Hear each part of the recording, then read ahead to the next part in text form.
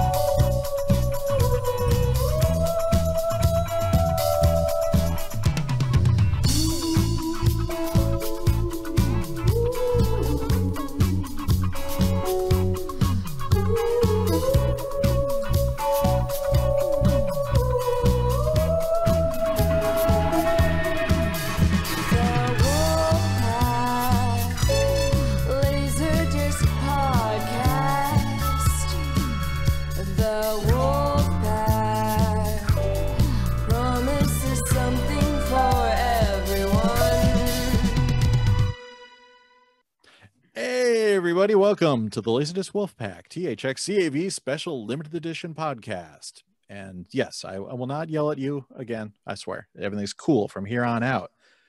But this next guy I'm going to pass along to, uh, I don't know, he looks determined without being ruthless. There's something heroic about him. He doesn't look like an LD collector. He comes across so calm, acts like he has a dream, eyes full of lasers. Ryan Cushing. Sam, you're so hard now.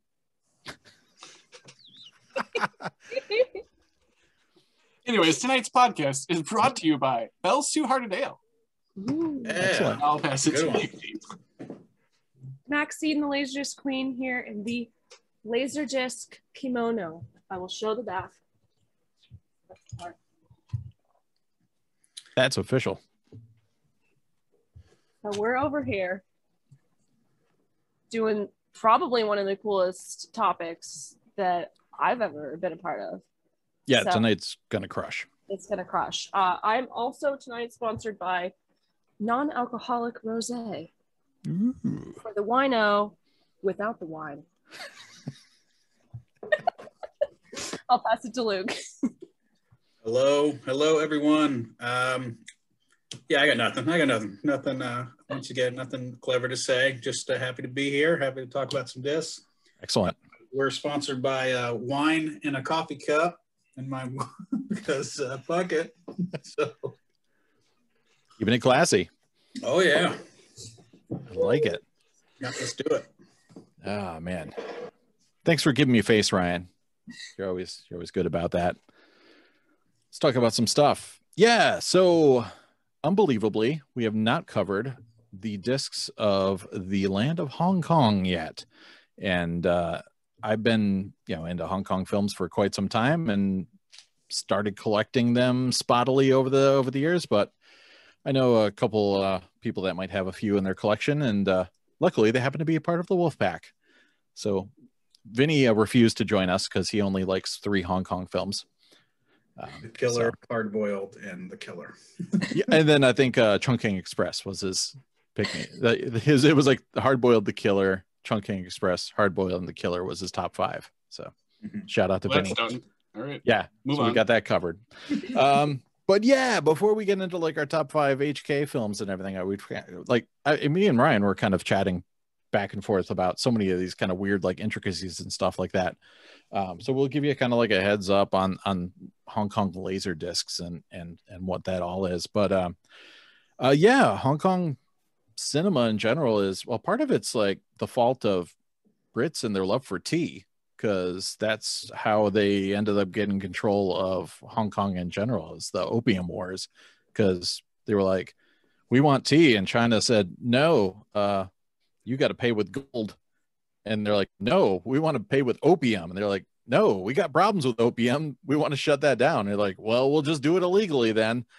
Then a war started. And then all of a sudden they owned Hong Kong and eventually leased it for 99 years. And uh yeah so it started this kind of weird industry where Shanghai was making the you know the good films. And then the Cantonese films in Hong Kong were the the kind of low rent films and a lot of it was you know stuff a lot of dramas and things from the operas. And then all of a sudden you know things started escalating and martial arts started getting involved. And yeah from the 70s on it really exploded. So uh interestingly uh, the stuff kind of i'm going to be showing is more from the the later boom years from the 80s and the 90s because like that you know, every- yeah once bruce lee and all that broke this whole next generation of filmmakers all a lot of them studied over abroad and then came back and created this new kind of mix of eastern like martin scorsese and french new wave mixed with hk sensibilities. But um yeah it's really interesting as a collector here in the states because uh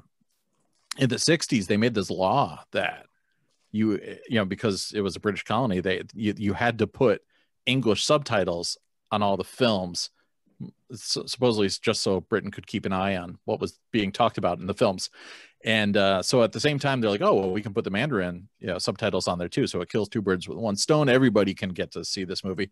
And uh, along the way like that stuff would just get transferred to video and because they didn't do really high quality transfers from the negatives. They just had whatever you know junky old theatrical print kicking around and they would just scan that with the subtitles on it so almost by accident it was completely available for westerners to i mean the subtitles are really really really bad sometimes and yeah. uh, the scans are also so bad sometimes the, the the white subtitles if it's on a white background are just like totally blown out so um Or But you- cut. yeah well that was the that's the thing that's interesting is because at first you're like right well if you do any kind of pan and scan you're gonna just lop off the sides and i've got like bootlegs of um oh it's this movie like yeah, I don't even have like a case for it, but yeah, Beach of the War Gods. I used to buy tapes from this guy called Video Madman from San Diego, so Luke might know him. Yeah. And um, yeah, the old '70s ones they would just have like just pan and scan and boom, boom. You have to kind of guess what the rest of the dialogue was off the side of the screen. um, but yeah, real fascinating because Laserdisc ended up being this big thing because tape in a super uh, humid tropical climate uh, doesn't hold up as well as the disc. So Laserdisc was great for rentals. And so fascinatingly, because we have so many uh, Chinatown uh, communities here in the States, all that stuff was getting imported. And most of it was through this company called Tai Seng, who um, like HK fans have a love hate relationship with. But um, yeah, so they, I'd hear about these guys. And I, I remember calling them I was working at the Hartford Insurance Company on my lunch break, and I'm on the phone with Tai Seng, like, I hear you have the Hong Kong movies. I want the Hong Kong movies. And nobody in the entire uh, like corporation spoke English. And they sent me like a, a catalog because they were only used to dealing with like video stores because that, that's all they were doing was like just distributing laserdisc for rental. And then so finally they're like, enough of these these weird Americans were calling. They had to hire a dude uh, Frank Chen. It's like the the head of like actually distributing to to consumers. So yeah, it was it was interesting. And then eventually they started like printing their own discs and everything. But um, but the other interesting is because it was rental market, they would often like split the discs into two parts and videotapes too. So you know, if you want to rent that new Jackie Chan movie, you got to pay for twice as much disc.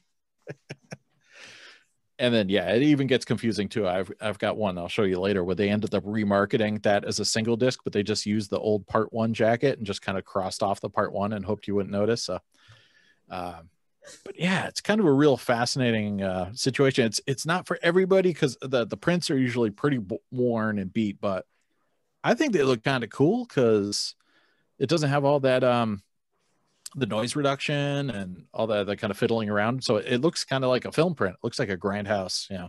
Oh, totally. To be Yeah, fair, the film quality is as good as what I normally watch. So right there's there's a thing yeah you're pretty much primed and ready for this so yeah i kind of like it I, don't, I almost don't want to see you know these movies in like super pristine form i kind of want to feel like i'm on a 42nd street yeah grindhouse theater having a double feature so um but i, I don't know i kind of fell into it a little late i had heard about john woo movies and all my friends were like john woo's really cool and stuff and i'm like yeah yeah yeah whatever and then um you know the 90s hit and yeah, all these these things started getting distributed a little bit, and then eventually Harvey Weinstein and, and Dimension Pictures uh, found out about it, and Quentin Tarantino was part of really part of the big drive to push them to get the films, but they still didn't know what the hell to do with them. And and Jackie Chan's Rumble in the Bronx was a surprise hit, even though it was dubbed and cut to shreds. So Miramax was just buying up rights over here for so much stuff, which was kind of like a blessing and a curse because you could see it, and then you could also see a messed up version. And every single trailer it seemed like had kung fu fighting on the soundtrack, and I'm like, oh, come on, man. so a little bit of a love hate relationship there, and then yeah, now there's all these badass films that officially the the only U.S. version you can get is like a a cheesy one with like all different music and bits cut out. So these laserdiscs are kind of like, you know, yeah, the way to go for a lot of this stuff. And some of the companies don't even exist anymore. So yeah, it was like a wild west, man. Triads were involved in making these movies. They would like threaten actors and hijack productions and yeah, there was no there was no law. There was no um you know, they had eventually a category three for like the the nudie movies and stuff, but that wasn't until the late 80s. There was no ratings. It was just a wild west. So insurance, yeah, whatever. Just jump on that train. Do what you want. So yeah, it's a fun uh, it's a fun world. So we're gonna get into some uh some laser discs here. Did you have anything else to add, Ryan? I was gonna say some of the early Tai Seng you could actually see they were just the Hong Kong release with like their own cutout Obi like piece of paper. So yeah. it- you look at LDDB and you see some that like are identical, and it's like, well, that's because they put in the number from the piece of paper. There was no, or they re-released the same thing over and over again. Yeah, they didn't start making their own jackets until like mid 90s. So yeah, they would be like they'd just be uh, they'd have these rental discs that were made in Hong Kong or at least you know made in Japan for Hong Kong. And they'd be like, "Well, we're just going to sell them." And yeah, just put our little obi Yeah, the phobia I call it. It doesn't even cover the full spine either. It's like four fifths. I do like all the just stickers like all over everything. It's cool. Oh yeah, Tai Seng everywhere. So, and that was I was I was really into in, into the stuff, but uh, I was a bad boy because I could. You know, Tower Records would have them, but they'd be like eighty bucks, you know, on par with Japanese imports. And I was like, oh man, I don't have like one hundred and sixty dollars to get one Jackie Chan movie because it's split into two, and the tapes were just as bad. Like I was like, oh, maybe I'll just get tapes from them, and they were like way loaded price wise too. Um, so yeah, so then all these nerds uh, that ran like anime stores and like shops across the country also were getting into HK films at the same time. So they'd buy the laser discs and they'd just run off copies illegally. Um, and then yeah, they'd sell them. They'd have books you can get. And yeah, so uh, Video Madman was there was a guy in Cambridge, Mass. I used to buy from. Um, and yeah, it was cool. Like I used to split them with a dude at work. We just get like this box of 14 tapes and I'd make copies of them for them and we'd you know share the share the wealth and just have a good time with them. But uh, yeah, and they're also letterbox a lot of times too, probably because I don't know if the theatrical prints were like hard matted or something, but it's kind of cool. Like I, the letterbox bars like move around all the time and stuff, but yeah, whatever. yeah, they're never centered right. Like even Yeah. when they're centered right, they're not. but uh yeah it's it's a fun world. So yeah that my goal kind of goal getting into these in laserdisc was i had so many of the those bootleg tapes and i'm like well now it's time to finally make good now that i can afford these things and get the original source discs that all those tapes came from. Uh, yeah it doesn't really help the artists because they don't get that money but it's all used on the secondary market but it makes me feel good in my heart. And so yeah that's been my goal as i've been trying to hunt these down. And then ryan over here uh he's a bad influence because he'll be like, "Hey, you should get this disc." Yeah, and I'm like, "Oh, cool, all right, yeah." So It's a good So- price. yeah, so yeah, so I'm branching out a little bit from my goal. I'm close. I'm only about four away, but uh, so we're gonna do some some top fives if if everyone's cool with that. Uh, HK discs. I, again, we can mix and match. I, th- I think uh, Luke was saying you were going to do like HK some HK pressed discs or HK release discs of Western films to mix it I've- up a little I've bit. Decided, So I've decided against that. okay, all right, all right. Uh, but So- I, you know, the more you talking about uh, Hong Kong Mm-hmm. action, I feel like I may have these are might just be Chinese movies, not just Hong Kong. You can go mainland if you want. You can mix it up. Yeah. Yeah. Yeah, I mean, yeah. Okay, I'm good. I'm ready. Yeah. we're not snobs. Yeah. We're Oh, cool. I am. A huge fan. I mean, It- i if somebody in the comments wants to be hate for Luke, that's fine. it is interesting that this like this over here in, in the states and in the uk too it does attract a kind of really intense snobbish fan base like it- it's it's interesting to see like what hong kong fans liked a lot of the biggest movies over here really didn't go over well at all in hong kong but like so a lot of the information you get about and the attitudes and like and us included about to talk about these things it's all from a very kind of like western perspective and there's lots of very you know snobby people that uh yeah, I got some books, but like one guy just like anytime this one director makes a movie, he just gets all pissed off. And yeah, like relax, buddy. These are fun movies. Yeah, having a good time. I do want to say I do not feel like I'm an expert in Hong Kong cinema. You know, I it's so vast and so huge. I mean, Oh yeah, we're just gonna scratch the surface here. Like, yeah. I mean, know everything about everything. No, But um, I definitely don't. yeah, we're, we're not definitely not. And that's the thing. It's it, interestingly they don't do a lot of um genre films like sci-fi and stuff like that. So it's it's a lot of you know period pieces, folk history, and um, the wuxia films with lots, lots of kind of floored flying around and wire work, and then the, the the martial arts films, and then the combo of the two. And then there's a lot of dramas, and but then there's like comedies, hopping vampire movies. That's like a whole subgenre, which I don't even think I have any hopping vampire movies yet on Laserdisc. So. Um, We might see one. yeah, I, Yeah, I'm we sure can fix Ryan's that. got some of those. we can fix Uh, that for you, buddy. Yeah, so I mean, yeah, we're barely going to scratch the surface here. It's just mostly going to be a lot of action stuff. So But the action's phenomenal. So well, that's it, and we can revisit this later when we all have you know crap tons of hopping vampire movies. So we can Yes, revisit this, and a lot of dramas and stuff like that. Like uh, Wong Kar-wai like has like all these you know, you know Chungking Express obviously, but like um, was it as tears go by and all these you know kind of beautifully shot There's a whole movies. box that just came out. Just Yeah. One of them. So uh yeah, so you can get into all that. So that's why I was surprised Vinny didn't want to do this because I'm like, yeah, there's some like serious like HK uh, art house cinema that you would be into, but yeah, boo. he's too he's too cool for us. Yeah. All right, so I'm gonna rock my top five. Nothing uh nothing too surprising here for uh HK buffs probably. I had a hard time with five just because there's so many possibilities I could go with. Um and I had to go with one Ringo Lam film, and that one is Full Contact. Um, Chow Yun Fat playing a a different kind of guy. Like he usually plays these super suave, you know, hitman, or, or maybe sometimes a little shabby. But this guy is like a different. He's almost like a bike, a tough biker type bouncer guy, and uh, he, um, you know, unfortunately helps a buddy who has a, a loan shark on his case, and uh, Then it, it turns into like a drive situation where his buddy uh, like also has a you know relative who's got this hot like heist going on. Let's get involved in it which totally turns into a double cross. And uh you know his buddy ends up stealing Chow Yun Fat's girl. And yeah he goes to a monastery and decides yeah i should get my crap together have a montage and get some revenge. Um crazy like bullet scenes where like it follows the the the pov of the bullet um like really i mean it's got an over the top bank robbery scene right away where the guy like pulls these you know giant hand cannons essentially automatic uh cannons out of this back of this car and it's just it's completely nuts. Uh it's it's you know a little too western maybe for a lot of hk fans. It's got like extreme like get the funk out on the soundtrack and like techno and stuff. So it's not your you know your typical hk soundtrack. Um but yeah it's really gritty and nasty.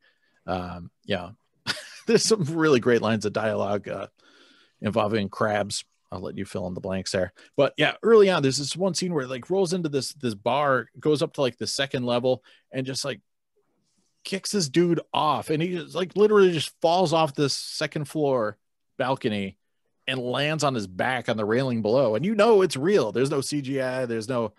They probably just got some poor dude. And they're like, hey, Yun Fat's gonna kick you off this balcony. And uh, I just remember like rewinding that. I'm like, did I see that? What, the hell is going on here? Um, yeah, really good, solid actioner and just grimy. It's really gritty. Like the good guys are bad, the bad guys are bad. Yeah, it's nasty. Number four, I had to do one Jet Li movie, and this was impossible to kind of pull pull out, but I had to go with my heart and go with Fong Sai-yuk.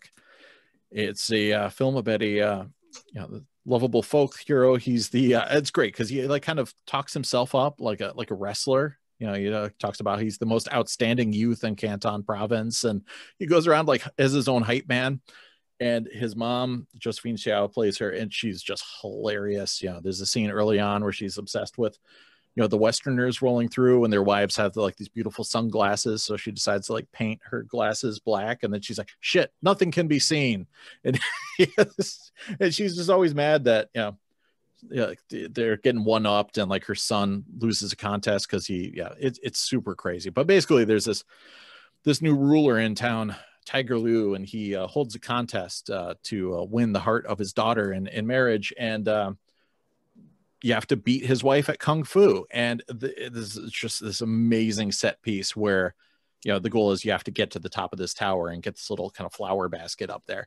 And eventually they decide to run on everybody's heads in the audience and uh it's it's just the most gonzo thing. And that's only in the first like 40 minutes maybe something like that and then of course you know his mom ends up dressing up like a uh, like a guy and falling in the, the the the other dude's wife falls in love with her and all sorts of hijinks ensue but yeah fong sai-yuk it's so much fun yeah Wow. I love the scene earlier in where he runs a race and he runs so fast as his uh his ponytail like sticks up straight in the air behind him and everyone's like, "Oh." it's just ridiculous good fun. Uh number three is Ronnie Yu's classic The Bride with White Hair. And uh, this is actually a Tai Seng. This is one of the big American releases they did. Uh, there is, uh, I think Maya put out a two two part uh, HK version two, which I need to get.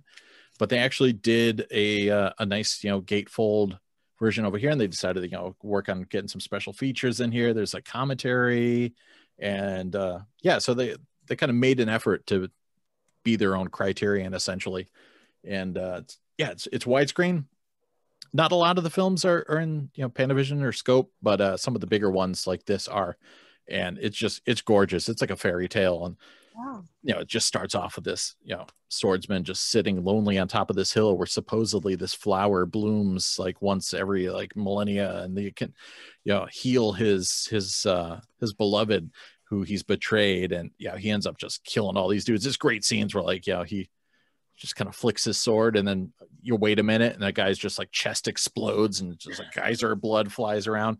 Um, but yeah it's got this you know love story of him with this this wolf girl that he remembers from a child and it's got all these great training sequences.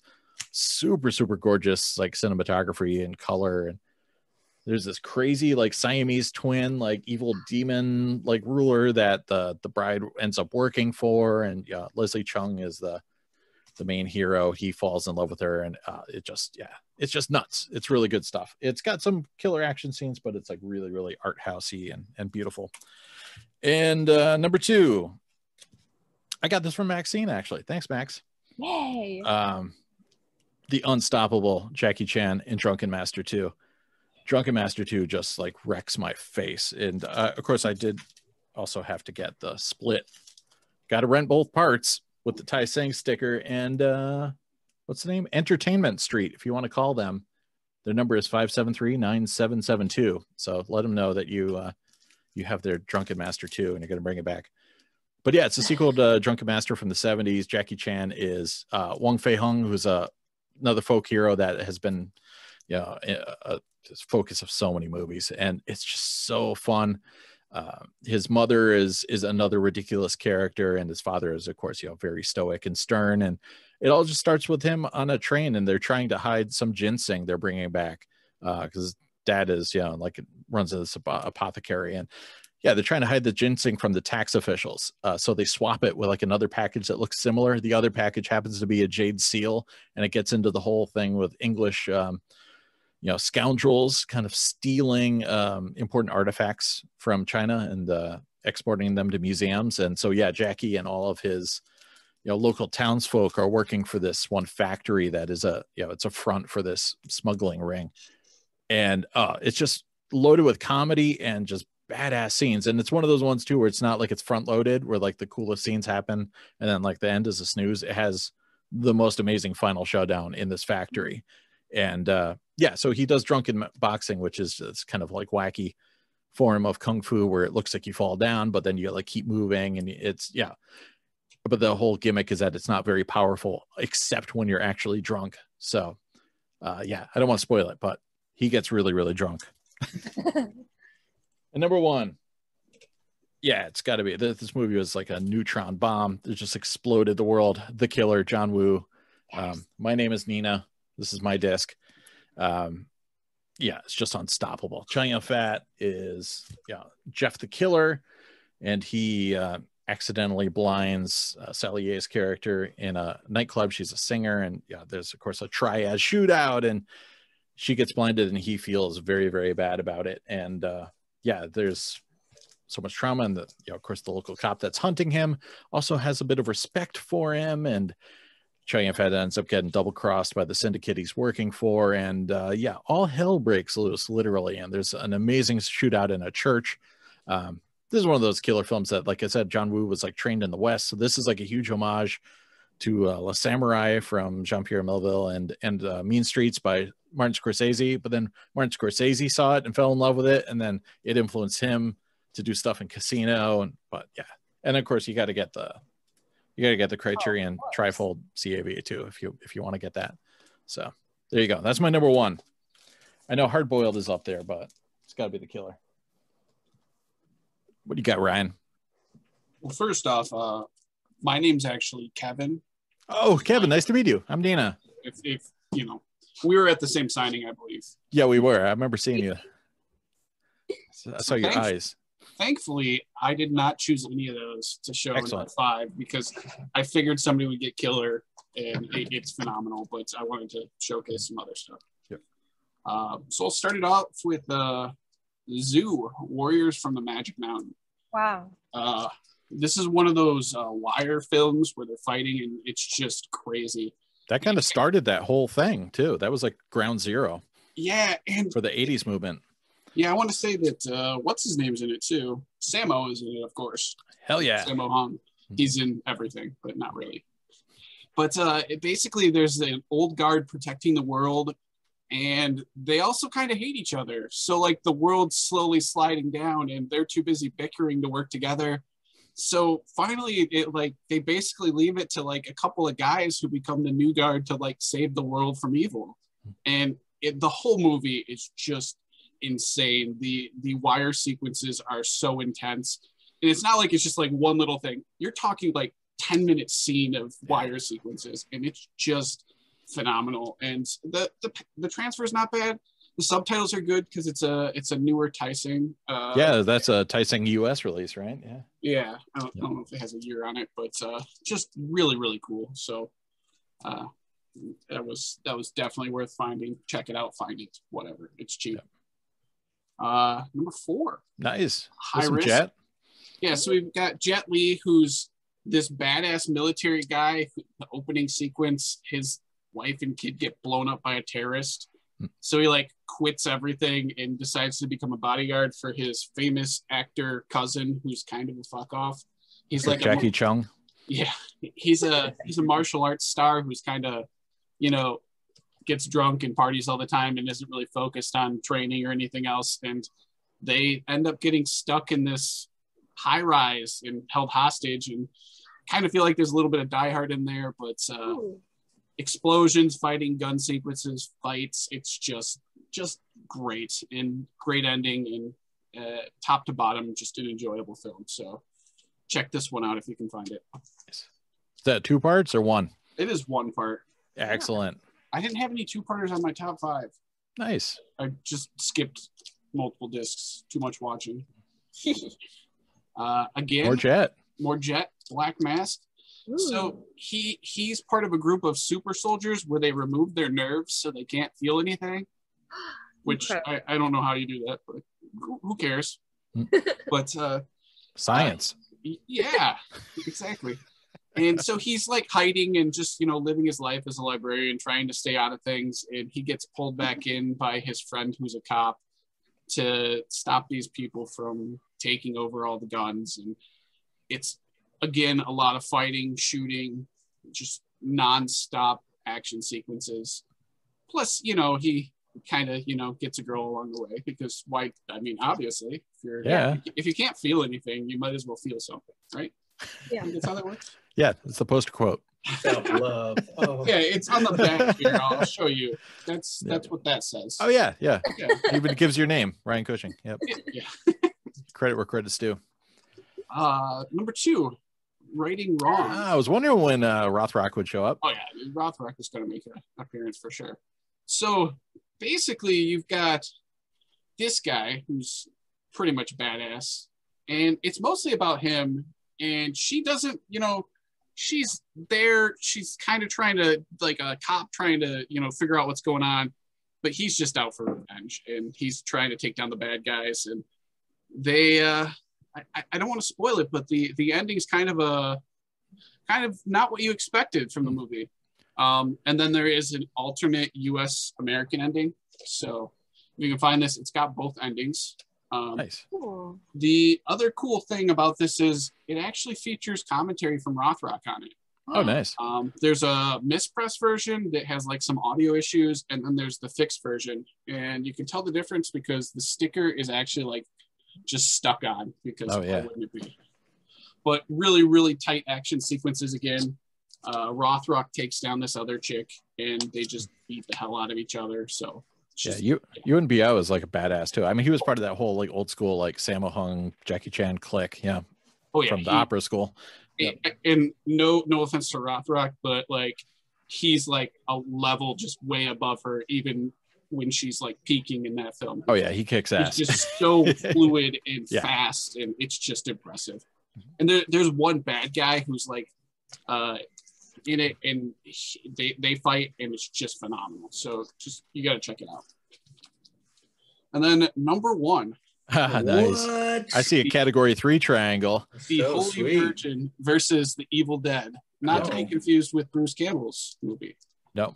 And so basically, there's this like moon demon that's killing virgins, and uh, this whole action sequence ensues. Uh, they end up leaving the country to go like defeat this before he takes over the world. This moon thing, and oh my god, it is just nonstop fighting and tits everywhere. And Hey. just yeah, it- it- It's I- I- Donnie Yen, right? It's the Iron Yes. Monkey. yeah and then the other cool thing about this is, is they filmed two versions the category three version where like the opening and like the last 12 minutes there's just naked women everywhere Yep. And like the friendly hey let's sell this to uh i have no idea like england maybe yeah. i don't know and like it's the same movie but they've cut out all of that so Yeah.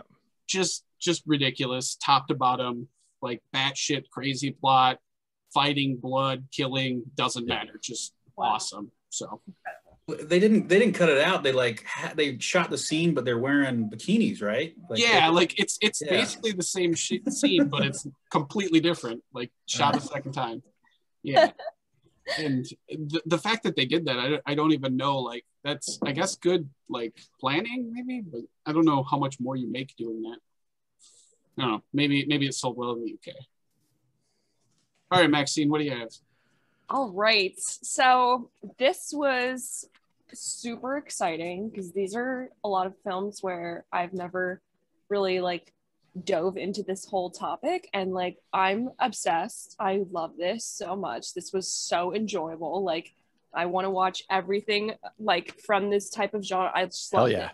It was so right up my alley. Best assignment ever. Oh, it really it really was like wow thank you so much like i was like so stoked on this so um okay number five Ooh.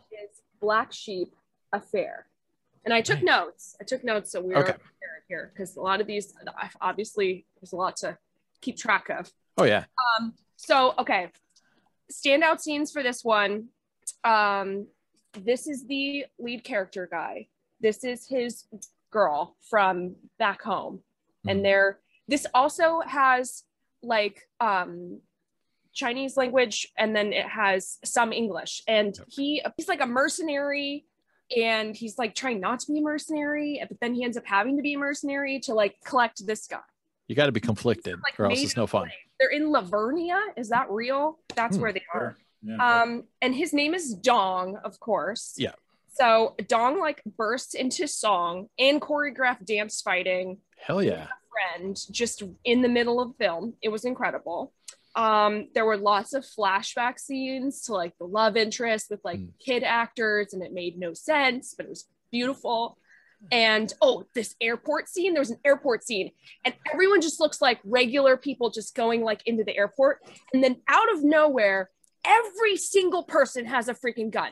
And these are not guns that you could have just hid like in your purse. This is just like straight up full on like humongous machine guns, like bam, everyone's dead.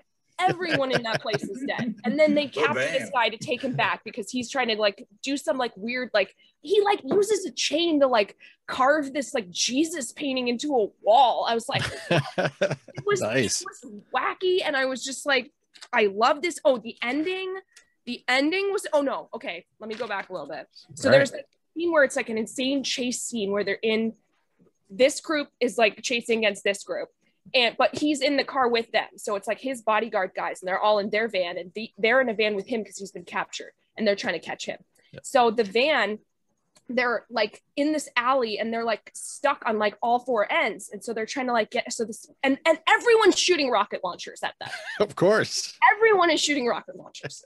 So it's like they're trying to avoid like the the windshield's been kicked out at this point and then a rocket launcher is coming straight through the van that these guys are in with him and he's like oh we're gonna explode and then he's like no we're not and he just bumps the freaking door of the back of the van open and the thing flies out the back of the whole van and blows up the car behind him it was Of incredible course. it was incredible. So this was just like freaking, I mean, it was kind of like nonstop. And there was like, it had just enough English in it to where it was a good starter one. Like this was one of the first ones that I watched. So I was like, okay, kind of like dip a toe. There's a lot of subtitles, but I was like kind of getting into the mode of reading a lot of it, but Oh, there yeah. was out of English and it has obviously both languages in subtitles. So there's flip flopping, but he's the one mainly who speaks English. But I mean, not a happy ending. I won't spoil it, but Mm. it wasn't a happy ending and that also threw me for a loop it was just this very just heroic just like coming out with all the explosions behind him and it was just like why couldn't have that ended better but yeah i mean overall freaking there was a lot of comedy there was a lot of like i i wrote down in here that um basically pun who's the love interest is super naive and dumb i wrote that down Excellent. and and I I just yeah weirdly has a Power Rangers feel in how they fight. All right. I wrote that, so not everyone needed to know that. Excellent. Okay, so now we're on number four here. Okay, so that would be Full Throttle. Oh, nice. This is all about motorcycles, lots and lots of motorcycles, um, and it almost feels like a Fast and Furious, like almost like that kind of Tokyo Drift vibe in the just Four. you know Yeah. like they love the road like it's all about the road like feel the road you know? It's like that whole vibe. Um and oh okay there's a quote it's a good quote. Life is like a tire. You never know where it will take you but don't let yourself be like a tire. Be the driver. Nice. so yeah lots of bike racing. Oh great great um like bike scenes where you're looking at the road with guitar solos. It's just like this is like one that you could probably like put on in the background and like really actually enjoy at the same time. The the plot of it was like it was good. Um the lead is apparently a pop idol. So Andy Um, Lau. it is andy lau. Nice.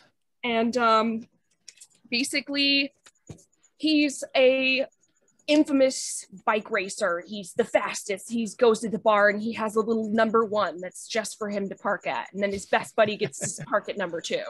And like he's he's kind of like washed up a little bit. He's never gone to like the big big race and like won it. And like he's fighting with his dad and his dad owns like a bike company. And it's just like it's like a really good kind of dramatic but lots of like racing and action. And like i mean it's like he he gets fucked up like he falls and gets he drives over a tin can and almost dies it was wild like and then it's just like a lot of like him just recovering and like his girls like taking care of it and there's like a little drama in there yeah, you got to recover. yeah and then he comes back and he's like freaking terrified and i was like this almost feels like something else i've seen but like Hmm. you know where you you can't get back on the horse you know like yeah. but he's he kind of is like um the the other kind of like friend and like adversary character his name is david and he really reminds me of like the guy from Kickboxer. Like just Mm. his whole demeanor reminds me of the guy from Kickboxer. Nice. But just overall, it was like really, it was enjoyable, but like it had a totally different feel. It was just action in the sense that it's like a lot of like racing action rather than like kick butt action. So Yeah. it's kind of different, different tone, which I enjoyed. Yeah, even some of these action movies I have are like 90% drama, 10% ass kicking, but yeah, the Yeah, 10% is so good. Yeah. Okay. All right, what we got? This one, this one Oh, new legend heart. of Shaolin, baby. stole my heart. I was obsessed after watching this. Menting, menting. You ate my chicken ass is my favorite You eat quote. my chi- I like chicken ass, but not this kind of kid's ass. Like, I think that's where I got my name Master Hung from. I was going to tell Oh you my Master Hung story. this is the best shit I've ever seen. It was Hell so yeah. start to finish, start to finish. The extending like s- metal pole that just like Oh my skewers God. people. I loved it. And then he's like, and It's like a buzz saw. and it's like ruins this guy, ruins his life. Oh my god. It goes through a log. lots of notes. I mean, it just like X-Men claws in the beginning. Like Yeah. it was just like um oh and then um oh I'll have to mention her. Yeah, she- I'm ripping. a lot of the um oh you got okay. Oh, I love it. I f- yeah, it's the two-parter part. Yep, two parter.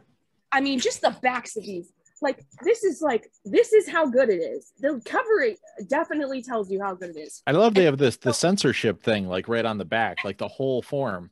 Oh freaking just I loved this so much. It had a happy ending where they literally rode off into the sunset. I loved that. And just freaking the kid gang, man, Ting was my favorite character. He was just like he when they did this, they had this battle scene where it was just like they were just doing the exact same moves at the same time, and it was just So good. It was incredible. Highly, highly recommended. Yeah. super good and it's Jet Li. I mean, Yep. And then the the love interest uh comes into this next one. That's my number two, Uh oh. which is oh let me get my notes there because this one was whew, was super good. Street Angels. Ooh.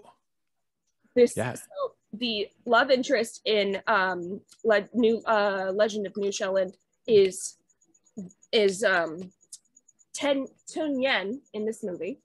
So this was incredible. It gave me like bright lights, big city, Ooh. very Okay. neon drenched, just like noir-ish kind of vibes. And I just I loved it. The music was great. I freaking loved it. This is yeah, totally kind of gives that vibe. So she has this boyfriend. His name is Walkie Pie, and he basically is just a terrible human and he immediately is getting into problems and she like basically saves him from going to jail and she goes to jail in his place basically Hmm. and then when she gets out she like goes back to her parents house and then her mom is like with this like total just loser guy who's like spent all his money with a loan shark and now he owes him like 300k Hmm. and it's like ridiculous so she's like okay i guess i'll go like work in a freaking brothel to like pay off my mom's dumb boyfriend's debts like and it's just like wild so this guy this is playboy man his Oh, name you is tell. his name is Playboy Man. Like that's not a nickname. He's man. They call him man. They call him Playboy Man. Yep. I love it. And he works at this place called Number One. Um, and that's his club. And it's a ball. They call it a ballroom, which I love. I love that. It's a classy club. Yeah, it's very classy. He, he makes makes a point to talk about how classy his club is too Nice. and like this other place across the um across the street it's called hero karaoke Hmm. and they're trying to like battle the business of number one so they just come up with this like crazy scheme to like get all this media attention over there and then they literally get this guy to throw a, a no joke a freaking bucket of like shit on this guy Ooh.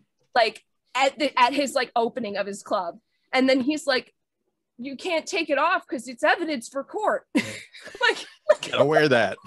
you gotta wear it all till we go to court it was just like there's so many crazy things but it was just like it had like highs and lows i mean this is this is ming ming loved her she's Is great Amy Yip. That almost looks like the girl from uh, Sex and Zen. Amy Yip. oh you know what she might be in that. or is that Chingmy Yau?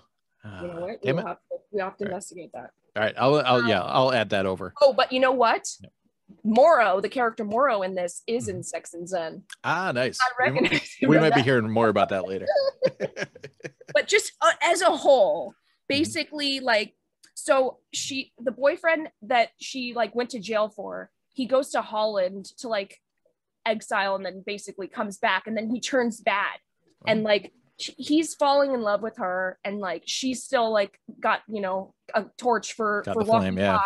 and then Walkie Pie turns full full terrible bad guy and then she like battles him and they like he like fakes his own death like it's just like it was there's all these explosions and like it was like very like i wrote lethal weapon vibes and bright lights big city soundtrack vibes Nice.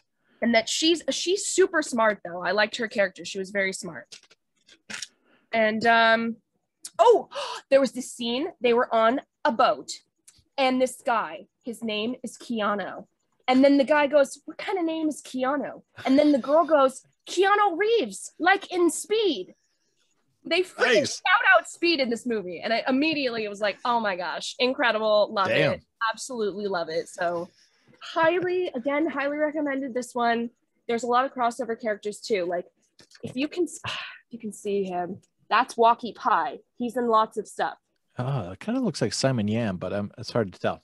I'll he is also in my number one Uh-oh. which is full contact Simon Yam is in full contact. Yeah, he's Judge, the uh, super flamboyant. Judge. The Yes, Walkie Pie is Judge. and then, okay, let me see here. I freaking, woo, I was waiting full contact is amazing. So good. This, the stab wounds. This was the one where I heard the stab wounds and immediately felt like it was totally like Sex and Zen. Oh yeah, but um, okay, so I was getting like Roadhouse vibes, and then Mm. this, then then Judge had those the snake skin like Nick Cage jacket. hell yeah. in like the first kind of scenes and he re-wears it later too which i liked and then this whole freaking like switchblade fight with Yeah. switchblade with, with blade in the rain it was so like With the raindrops tinkling on it. Yeah, and it washes the blood off yeah, it does. back for another one like ooh so good Oh good. and then um okay so like you said the his name is jeff which i just like He's always love Jeff. Yeah. name's Jeff, and then his friend's name is Sam, and she goes like, I, and the and the love interest is, is Mona, and then this is Judge. We got everybody on the back here. There's Sam, Oh yeah. there's Mona, and there's this Virgin. Oh my God, Virgin. she's got some of the best lines. Ooh, she's got some great lines. Oh my gosh, but just yeah. Oh my god, you didn't even mention how cute the dog was. Yeah, the there's just so much going. Yeah, the dog-. Yeah, good point. Yeah. Oh my god, I was obsessing over the dog. It's just freaking Chow Yun-fat on a freaking motorbike, looking like a Harley guy, just Yeah. with this cute little French bulldog in his lap, and he's just got like a fake like couple of fingers on because like Yeah. his hand got shot. He got messed up. Yeah. Yeah. But just like the oh man, that bullet shot, woo, that was so good. I was like not expecting any of that to be that like. Yeah. I had I had absolutely no expectations of. I agree, this is kind of that Westerner vibe because it. I wasn't sure where it's set fully, like Yeah. what city was supposed to be in, because it almost could have been like it was like an LA. Because yeah, part of it's um Thailand. I think Yeah. some of it's like Bangkok, and then it kind of moves around a little bit. Yeah. But it just had the went in the very beginning where they are with the cars and everything. That whole vibe just felt like they were on like Sunset or Rodeo. It was like Mm. you place that somewhere else. But just the the whole vibe of this was just uh, the acting is incredible and just like Hell yeah. yes, I agree. He's like perfect in this like. I like I like how Judge says he's got like charming eyes. Yeah. Saying that about his like eyes being oh you have such charming eyes. yeah. Just Uh, uh, So good. So good, so enjoyable, and just absolutely so many more now that I'm going to watch because I'm I'm totally hooked on it. And the soundtrack is. I, that's the other thing is they never pay rights for soundtrack stuff. So like, they had like it. cool So good. I techno and yeah, this. Get the funk out was incredible. I was like, damn, they're playing get the funk out right now. Like yeah. she's dancing to it. I loved that she was a dancer. I loved her whole Mona's whole vibe was great. Yep. Oh, that was so Good fun. Shit. Okay, I'll pass it to Luke. Luke, what do you got? Oh, it's me. Uh, let's see. Okay, here we go. Uh, the first first disc I have is uh is the killer. Here- Ah, yeah, yeah. oh, Get out of here. Wait a minute, this isn't the killer. Get out of here. Well, all right, so real quick, Yeah. the killer is a complete ripoff of this movie by Herman Melville. It's inspired by that and Mean Streets by Give Martin. Scorsese. Give me a break. This movie is so good. Anyway, I it's the only version that's on Laserdisc. I found it in a in a Hard Off bin. I was super excited about that. I I love I love both films, but The Killer is it scratches an itch that Le Samouraï doesn't Come on. scratch. Yeah, oh it's not a ripoff. Next hot take. uh, this is my real number one. Actually, I wish it could be my number one, but I, it's Chungking Express. Roll Thunder. Uh, Yeah. Have you seen it, Sam? Have you seen anybody seen this movie? I haven't Anybody? seen- It's been a long time though. Yeah. So I don't. I don't like it. I don't like this movie. I'm just going to hot take. I, I don't. It was. Um, That's I wish it perfect. could be my number one. I wish I could say, I, I- you know, I love this movie. It's great, but uh, it's one of those movies where I don't know if you guys have it, where you watch it and like it's universally loved, Hmm. and you're like, I don't like this. Like, is something wrong with me? Like, it's, um, it's basically two parts. You know, you have the lady in the blonde wig, and you have this lady working whatever, and you know, the, the first the first part of the movie with the lady in the blonde wig, it's her name is literally woman in blonde wig. Hmm. Um, she's kind of doing all this crazy stuff, like put making these these guys from India fake passports and stuff and illegal activity. Like, okay, cool, I'm I'm with all this. Yeah. And it then it switches to her, and then they they played the song uh, California Dreamin' maybe 50 times, like just nonstop. I'm like, I, I hate this song. I never want to hear this. I I don't care about this person. Uh, please stop. Oh God, please stop. Uh, and I, I don't understand why people like it so much. Um, I think maybe because it's the, you know, they really show the market and the lifestyle of, you know, wherever they are. I'm sure they say, Uh, but um, whatever. I don't care. Okay, next one. All right. His Uh, movies are like that though. I know someone who hates like at least every one of his films, and somebody else who absolutely adores it. So it seems to be a thing.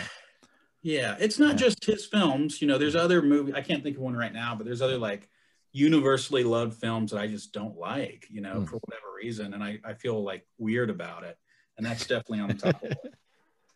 All right, next one. So I talked about the killer.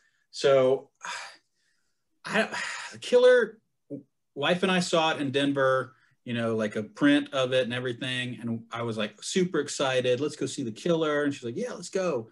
Before having a kid, you know, just I was so bored. Like I was, it was one of those times like, oh God, can't will this stop? Like just Uh-uh. come on, let's get to get to the end. I want to see whatever. I, this one, Yeah. this this is the one for me. Hard boiled. He's a bad one. This is It's a good film. It's not as good as The Killer, but it's very good. yeah. okay, all right. There, The. Killer is tattooed on my heart, man. Hard boiled Okay, is that's cool. it's on my I ass, respect that. I do. it's cool. Yeah, Hard boiled is my favorite. You know, because it has it's great. it, starts with a very trope of like the lead guy being a jazz jazz he plays the clarinet or whatever. Yeah, man. you have the awesome intro scene in the the bar slash bird house of some kind where You get tea, you get guns and birds, right? yeah. Yeah. And it's just amazing you know and then it starts he slides down the banister. It's Yeah. where he has the two guns it's fucking amazing. But you know i watched this in high school and you know at the end in the hospital come on that's fucking dope Yeah. um, and i remember seeing there's one promo uh, photo with him in like a cop uniform like holding a baby you know that never happens in the movie he's never He wearing does have a baby, but yeah, he's never not wearing with the cop uniform. Yeah. anyway i The I love baby it. And I remember I bought it like off eBay or something, and I remember the guy left a sticker on there that he bought it for like two dollars, and I bought it from him for like. oh 20. snap! I'm like, fuck you, guy! Like, Yeah. you have to rub it in. Rub it. Um, let's see. So hard boiled. All right. Uh, next one. This one I actually I, I want to keep doing some criterions. Hmm. Uh, Super Cop. This one I actually watched. I'm not a hugest Jackie fan, Jackie Chan fan.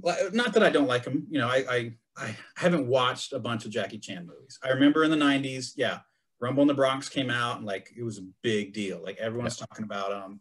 Uh, I Super Cop come out after Rumble in the Yeah, Bronx. yeah. So I did watch this one, and it's you know it's Police Story three, right? Yeah. Um, it was it was pretty good until you get to the ending when it's just fucking amazing. You have a train and you have him holding onto the helicopter, and the helicopter goes into the train, and then the motorcycle goes onto the train. Hold on, I've got it. Oh, wait, wait one second.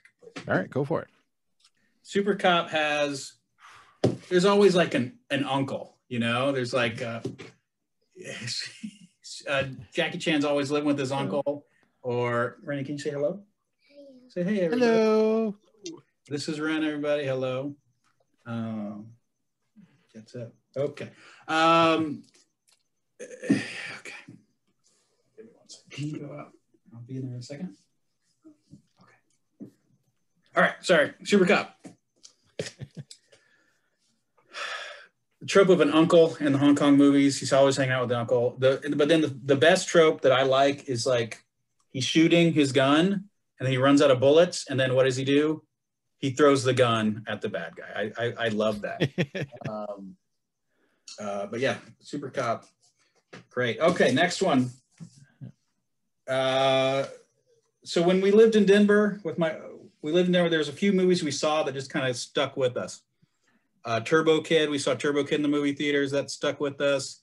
Uh, Yakuza Apocalypse, that really stuck with us. And then we went to uh, the Alamo Drafthouse and we saw a uh, like a print of this one, and it really it really stayed with us. And I it took me forever to find this laser disc, but I finally got it from Japan. They sent it to me, and I, I love it. This is Hopping Vampire. This is a, a Ah. Hopping Vampire movie. This is Mr. Vampire Two. Okay. Uh, anybody seen any of the Mr. Vampire movies? Nothing. Okay. Just so pieces. yeah. So the so the miss the hopping vampire is really interesting because you know it all and they don't show it. It shows in this one. This is Mr. Vampire one. They have this like post-it note on their forehead, and as long as it's on their forehead, they stop. They freeze. Hmm, yeah. Okay, but uh, you know if you take it out, you know they'll they'll come back to life. So there's a good scene, the opening scene of Mr. Vampire 2, where there's like he's fighting two and they only have one post-it. So he's like posting on one buddy, somebody, and then fighting the other person, switching back and forth. But the good one about Mr. Vampire 2 is there's a, a kid vampire and he like goes and befriend there's this whole other sequence of him befriending a family. It's it's super weird and it's uh, super great. Uh, I, I I really love this movie, Mr. Vampire 2.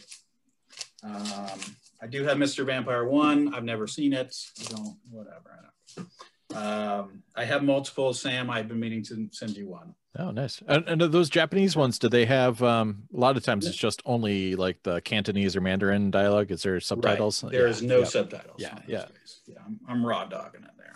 All right, respect. yeah. So that's uh, four, and the last one. Uh, so when I think about Hong Kong movies, it's I think of four. Four. You know, you got your John Woo. You've got your uh, Jackie Chan. You've got your two other things that I can't think of. Another thing I can't think, and then you've got Bruce Lee. Yeah, I was gonna say we gotta have an inner dragon. yeah. So Inner Inner Drag, come on, man. I th- this is an American movie, right? He came to America to make this movie. But it's you know all based in Hong Kong and yeah. Yeah, yeah. Uh, it, it's what can I say about Inner Dragon? It's fucking it's fucking great. Is that a gold rental? It is a rental. This is Nice. the, like a very few rental that I'm gonna keep. Uh, I sold all of my other ones to Sherman. Nice. But this one I, I really like, uh, and it's also like one of the last discs I found before I left Japan. So it's got some sentimental value to me. Uh, That's cool. yeah. Cool jacket. uh, also so with with hong kong movies like the big the big influences for me was i you know kill bill like Mhm. after watching kill bill i was like i'm all in baby let's do this and then of course undercover brother Ah, goes- that's good. he watches he's watching enter the dragon and he's like jim kelly yeah Just- I wish there was like a nice black belt Jones on LD. I don't know if that made it on LD because that's a badass Jim Kelly movie. yeah that'd be cool uh, and then the other one i've got uh Game of Death. game of death i got what was it game of death right Yeah, game of death it's the one where he's dead. this movie is this movie's so crazy because I think early on I saw just the ending alone, you know, Hmm. and the ending alone is amazing. Yep. And I I love the the NES game Kung Fu, and it's it's the same thing. And if you watch this movie, it's the same fucking sounds as the NES Yeah. Kung Fu game. Um, but the you know this movie is crazy because it has a scene where he gets shot right in the, in Yeah. the beginning, but then he really did get shot. Right? Uh, he he died. So yeah, they ended up kind of using what footage they had shot already, and then kind of came I- up with this whole concept. Yeah, because yeah, he he died of like the an aneurysm or some mysterious circumstances, and then yeah, And then the craziest thing is that there's some cuts or something where they used Bruce Lee's actual funeral yeah, in the movie. because Like- yeah, the character gets killed. Yeah, Right. It's very clear that it's not Bruce Lee until the very end, where it's like, oh, okay, yes, we're we're you know he's what he has a helmet on, and you see the side of the face, but it's it's not him. yeah. There's like one where he's like staring into a mirror, and you could tell it's like a cardboard cutout of like Bruce Lee. but just fast forward to the end where he's in where he fights uh Kareem yeah. Jabbar and he's going up the levels and he's wearing the tracksuit, the Kill Bill, you know, cool tracksuit. And I love. I was watching it recently. Uh, yeah, the, there's a opposite tracksuit. There's a guy who's wearing all black with the yellow stripe. I'm like, oh yeah, that's what I want. Yeah, that's fucking cool. Um, so I mean, I also want to talk about like Once Upon a Time in Hollywood, where they have you know the big controversy with that with Bruce Lee. And when I watched that movie, it was like, well, how you know it's obviously fake history, yeah, and how you know, what better way to make your character a badass than for him to beat up Bruce Lee? Like, Yeah. I was like, okay, this I'm I'm on board with this. This is cool. and his family got mad about it. Yeah, Yeah, very mad about it. Um, uh, one, yeah. one more thing, I, I cannot talk about uh, Chinese Chinese movies without. This is my all-time favorite kung fu movie. Uh, this it's only on DVD, but this is uh, the the Master of the Flying Guillotine. nice. Yeah, Um, oh God, watch this movie. This this is amazing. He has this this weapon which is like a circle, and he throws it, and it comes on your head, and then he he pulls it, and pulls it off. it's a, it's a flying guillotine. It's eh, this is the ultimate kung fu movie. It has everything you want. It has training. It has like a big competition at the end. I do have a. I found a Japanese poster of the movie. Let's put the poster up right now and post Damn. up. nice. I'll Give it to you later. It's one of my prized possessions. I Yep. I love that fucking movie. It's so good. Uh, Master of the Flying Guillotine. And yeah, there's so many great like 70s movies, the Shaw Brothers movies, so much stuff. You know, all the Wu Tang stuff that Yeah, it was. It was. one armed swordsman, and yeah, Yeah, and this is a he's one he's got fucking one arm. yeah, he's a one armed swordsman. This is like the sequel to one armed swordsman. yeah. Is it Jimmy Wang Yu? I think is the, the yeah. actor. and Yeah, So it, it was it was Quentin Tarantino and it was the RZA. Like those are Yeah. the two guys that like that brought it. Yeah, Chinese movies. Yeah. Yeah. yeah. I wish more of that stuff was on LD. Some of those older ones. Uh, maybe we'll this have to was pick some it up. was lost though. Even in this, there's scenes that are you have English and then it cuts to, to Chinese because they just don't have it. You know. Yeah. Yeah. Yeah. Uh, yeah, a lot of that stuff got trashed. yeah. Anyway, Ah. that's it. I, I have yeah. Okay. All right. Excellent. No, I'm glad somebody brought a uh, a Bruce Lee and a hopping vampire because we definitely needed to cover those two angles. So excellent. Um, you guys ready for the wolf pick? Yeah. Yep. All right. Let's do it. Well, a lot of the Hong Kong cinema stuff is, especially the the films we were talking about in the 90s, was dealing with the whole threat of the reunification because in 1997 they gave Hong Kong back to China and hopefully my internet will hold up. My internet is really bad tonight. Um, but a lot of people flew uh, to America to make films, including John Woo. So we're gonna do John Woo's first couple American movies head to head. What's better, Hard Target or Broken Arrow? What do you got, Ryan? Uh, how many of them have Christian Slater in them? Uh, hold on. Uh, this one, just just one. There This you one. go. Okay, You can't go wrong with Slater. not not not JCVD. I mean, it's good. Don't get me wrong. Wilford Brimley. That's not gonna. That's not gonna move the needle. He's on a horse. He's on a horse. All right, all right, all right. That's a Broken Arrow. All right. What's Max got? My, my reasoning is the same. Slater. It's All right, always Slater. Okay. All right. always Slater. All right. Fair enough. There's a DTS version of this. Anybody? is Yeah. that's Yeah. true. That's true. There's a there's a Japanese cut that's even longer. Ooh, extended. Yeah, extended cut. All right. two all right, two broken arrows. What do you got, Luke? Why why aren't you holding up face off? Like why why don't you have face off? in your hand? Well, because then everyone would just choose face off. I had to I had to make something that was choosable. Uh, I I haven't watched either of those movies. If I was going to pick one, like Yeah. you have to watch one of those, it would be Broken Arrow. Oh Um, man, broken arrow all the way. I'm gonna do the. Uh, I'm not gonna break the tie because there's no tie. I'm gonna go with hard target. Um, yeah, Uh, it's got Wilford Brimley riding victoriously with a bow and arrow with explosive tips, like with a shed exploding behind him. It's got Lance Henriksen screaming all the time, like chopping snakes and, and with his hands. It's got Arnold Vosloo. It's it's great. Uh, JCVD like can't act, but he's fantastic. And Yancy Butler is in it, and she looks completely terrified throughout the entire film. Uh, yeah, so there you go. That's mine. Long hair JCVD, right? Yeah, he's got the super greasy Looks mullet. yeah, Looks like uh, what's his uh, Nicolas Cage from Con Air, kind of. yeah, true. He- Nick stole uh, stole his look, and it's got a lot of the great scenes where it's like everybody stands around and waits for him to kick their ass. Yeah, because if you're like yeah, teaming up with five guys, you got to just kind of hang out.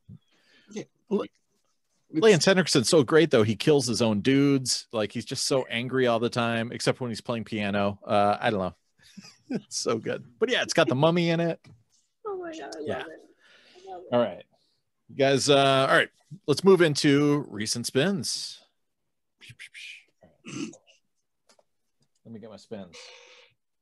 If I can find them. I had to go um, dig into one of my older John Woo films, and I did uh, Bullet in the Head.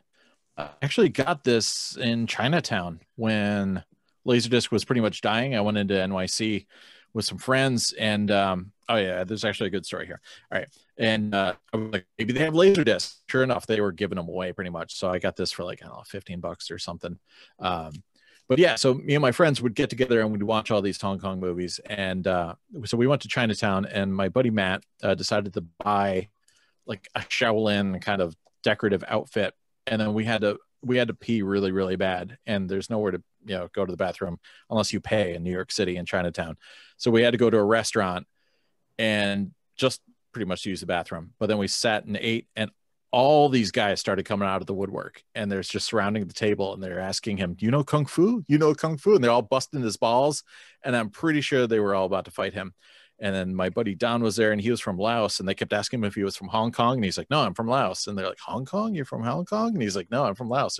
You know kung fu, and yeah, so I yeah, I almost got killed thanks to my buddy Matt uh, in Chinatown buying this disc, but it was worth it. Bullet in the Head is like the grittiest, nastiest John Woo movie. It's yeah, it's kind of got some uh, Deer Hunter, Apocalypse Now vibes going on. There's nothing fun going on. It's about you know these three kids Eh, getting on the wrong side of the law, and they decide you know hey we're going to go to Vietnam because you can make money smuggling in like medical supplies. And they go to Vietnam, and they they everything goes wrong, and they meet a like a torch singer at a nightclub who's like hooked on opium and then all sorts of hell breaks loose they end up getting you know, caught by the viet cong and tortured and eventually one of these tight-knit brothers sells the others out and and one of them ends up with with a literal bullet in the head at one point of the film and uh, a little bit of revenge taking place towards the end of the film but uh, this unfortunately got cut a little bit just to fit it on one laser disc they're like yeah we'll just kind of chop up the end a bit but I still had to get it and and watch it again. But yeah, it's really intense. It's it's the gnarliest John Woo movie. It's it does have a lot of interesting action, but it's not none of it's feel good. It's just kind of yeah, it's feel gross action movie, but gotta love it. And um, then I also watched Tai Chi Master, which is one of my favorite Jet Li films. Jet Li and Michelle Yeoh, and it Jet Li is you know this this kid at you know at the temple, and him and his his you know brother he calls him it's not really his brother but you know they they get into trouble all the time and his brother is like too prideful and you know wants to be the best and they end up just like kicking everyone's ass like haphazardly and then attacking their you know sifu and the, the master and they get kicked out of the temple essentially and they're trying to make their way and they they meet michelle yeoh and get involved in her troubles and and his brother like ends up selling himself. There's always a eunuch in these films. There's always like a eunuch that either is a ruler like a local ruler or like assistant to the emperor and he rolls in and he's just like super ruthless and like jet li's brother is like i'll be extra ruthless. So that sets up this huge conflict um, killer fight scenes. And uh, it gets wacky in the end because it's like jet li realizes his brother went bad and he goes kind of mad. So at the end they start training him in tai chi to kind of like soothe his mind and then he starts learning the secret wonders of tai chi and how he can use that to you know avoid all hits and yeah it's, it's really fun. Great film. Then i revisited peace hotel. This is uh pretty much the the end of the line for chow yun-fat before he bailed on hong kong and moved to new york um eh, or los angeles sorry. But back in the day everyone would say oh this is like john woo really ghost directed this but he just produced it. Um but super stylish movie. It's it's kind of a mixed bag but i watched this for the first time at like two in the morning and it is a lot of drama going on. So not as much it's not you know he is literally called the killer in the film. So everybody was expecting this like john woo death fest. And sure he's got some automatic weaponry in one scene but it's kind of like a 1920s vibe going for it. Um and he, he's basically this ultimate badass who just murdered this entire place and he runs this hotel that harbors yeah it's kind of like you know the hotel in in john wick you know where you can go if you're you know you're a bad person but nobody can mess with you in there and then he protects you. Um so this one woman rolls in and of course she's got a bit of a past and says she knows him and there's an entire gang that's out to kill her and so she, she starts putting everybody's lives at risk in this peace hotel. But yeah Chow Yun-fat he'll uh he'll bust out a Tommy gun and blow your ass away. Uh, so yeah, it's a little bit mixed. It's not quite as strong as uh, as I'd hope, but it's super freaking stylish. So it was worth revisiting that. Oh, Then uh, I've been wanting to see this again for a while. Pom Pom and Hot Hot. Amazing. Yes, Pom Pom and Hot Hot. Uh, fantastic film about uh, Jacky Cheung and uh, this other guy. I forgot the actor's name. Uh, that's that's Bonnie Fu. She was in um, that's Virgin from uh, Full Contact. yes. Uh, they are cops, and their boss is like this super bad. That's him down there. He's a super badass, but like nobody knows. He's just like their kind of cool, calm captain guy. And um, so they get involved in this whole thing. And then meanwhile, his like cousin from the mainland is coming to visit, and then his sister also comes, and she's like super like he's all mean to her, and she's all grumpy, and she bangs her head on the wall all the time. Uh, so yeah, they get into all these shenanigans, and it is just hilarious and goofy. There's like a huge mahjong comedy scene in it, and then all of a sudden at the end, it turns into this insane action bit where they're going off against this assassin, and they're they're they're super cop.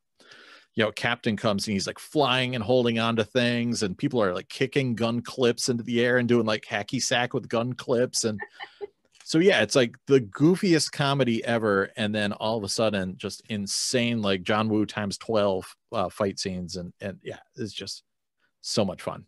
Yeah, it's got a great scene where like he, you know, I guess he used to live in in Hong Kong when he was a kid, and he comes back and he like gets reunited with her, and she's working in this brothel. And he doesn't realize that she's his old high school sweetheart and or yeah, school sweetheart. And he's like, You remind me of this girl Nancy. And he's like talking about her, and she's like, You asshole, like that it's me. uh, then I watched um, The Bodyguard from Beijing, which is a bit of a trip. This is Jet Li doing The Bodyguard. Uh, he's the Kevin Costner character, and she's the Whitney Houston character. Um, and she's uh, you know the spoiled girlfriend of this rich guy who, you know, she witnesses a crime, and then of course this guy from the mainland has to go to Hong Kong to protect her, and of course Jet Li just is all business and of course she falls in love with him. But it's got uh, kent cheng the uh, the guy from uh, sex and zen who was the doctor. We might talk about that later. Um, but yeah he's fatty poe the fat useless policeman that's hanging around with jet li all the time. Um, it's more drama and like you know moony-eyed romance and there's action but there's a scene where of course she always wants to go out and they're like there's dudes everywhere that are going to kill you so of course she wants to go to the mall and they kill the whole mall pretty much and then you know later on this one guy wants to get revenge and comes and invades her house and all hell breaks loose. So there's some good stuff. Jet Li's mostly using guns in this, so it's you know a little bit different. But this is a weird one. Oh yeah, there's uh there's Fatty Fatty Poe. Uh, there's also a little kid in there that's kind of annoying, but it's it's fun. The weird thing though is this um is this company World Video Supply. They kind of made it look like a Maya jacket, but they were like one of the Tai Seng competitors. So this is actually like a late 90s US release. So what they did was they just took the normal film and then they all the bits with the Mandarin and the English subtitles on the bottom, they just put a black bar over it and made it look like it was a wide like super widescreen movie. So and then they put their own subtitles, which are also badly translated over the black bar. So throughout many parts of the movie, somebody's face is like cut off at the nose because they just put a black bar. And then when the end credits happen and there's no need for it anymore, it just disappears and you see, oh, it was like a full picture the whole time. So way to go. That's amazing. Was that it? Was that the last thing I watched? I think so. One, two, three, four, five. Yeah, that was it. What about you, Ryan? All right. Um, I'm glad that like we've not overlapped at all because I was worried that we'd all watch like you know, The Killer and Hard Boiled, but Well, I did watch those too. uh, so did I. Um, I watched uh, Wheels on Wheels. This is fantastic. So you've got Jackie Chan and Yuen Biao who are running a food truck in Barcelona, Spain. And Sammo Hung is working for this detective who just up and skips town because he owes money to the mafia. Yeah. And they run across this girl who uh, basically is a thief and gets caught up, but she also happens to be royalty. And it just spirals. And there's some just amazing sequences again with all three of them fighting. The ending, Jackie Chan fights a guy for like 20 minutes, it seems. Yeah. It was just nonstop and just completely enjoyable. And uh, this is a US release, so it, it's pretty easy to find still. Yeah. I could do my research. If I remember correctly, they it was supposed to be called Meals on Wheels, but there was some sort of superstition about like movies that start with M. Like I guess like the last one the the director made tanked or something. So like we can't have it be a M movie. So it's Wheels on Meals. Makes complete sense. I love that. Yeah. I hope that's real. I watched uh, Thunderbolt. with, Ah, uh, Jackie, Jackie Chan. Flex. He races, and uh, there's really good fighting sequences again. But like the whole thing is like he has to beat this like guy who's this you know killer and he's from America in a race. Like that's the only way it's gonna happen. Yeah. And I feel like the race was the biggest letdown of the whole movie because it was just so hokey. Like it was fine, don't get me wrong, Yeah. but compared to the fighting sequences and the action scenes and when the guy just like destroys where Jackie Chan lives, like the race just wasn't as good. There, there was a scene in the the casino where the Jackie Chan was just destroying the whole casino. Amazing race, just kind of hokey. It was good though, and it was sponsored by Mitsubishi. Wanted Wow. to get that plug in. He's always this racing the. Mitsubishis. Yeah.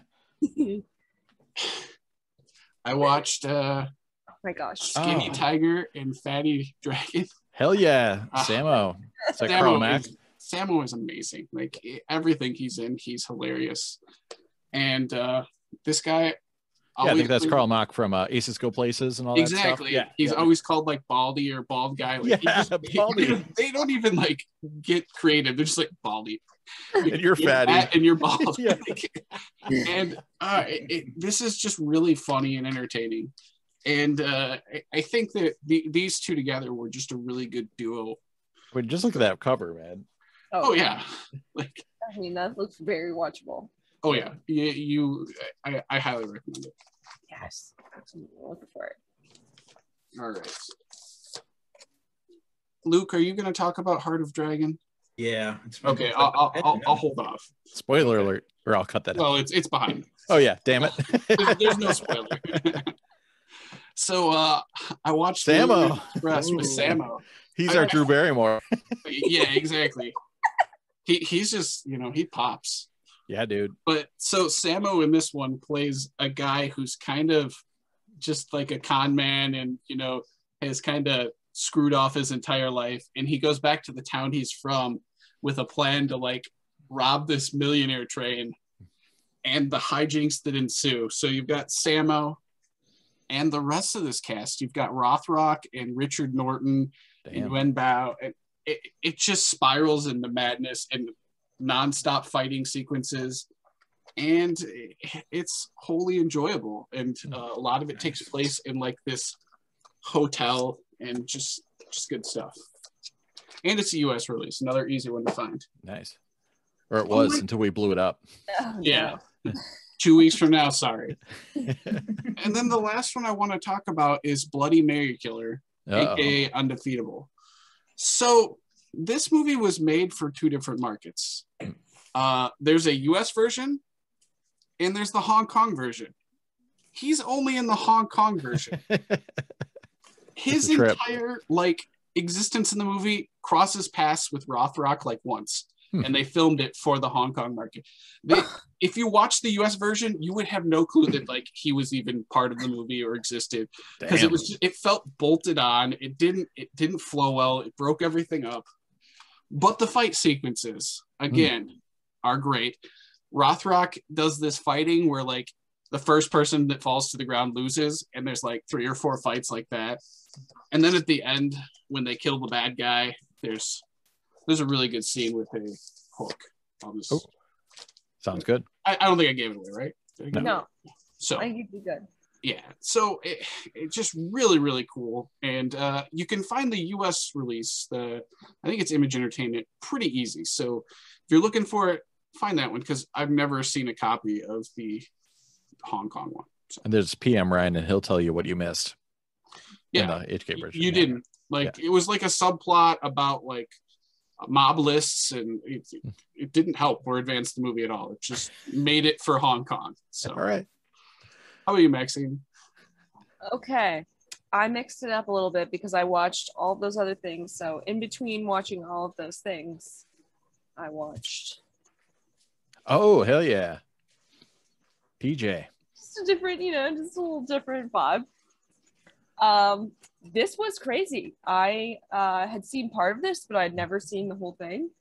Um, and it was very enjoyable. And I really just was, wow. It was just, I mean, these these guys.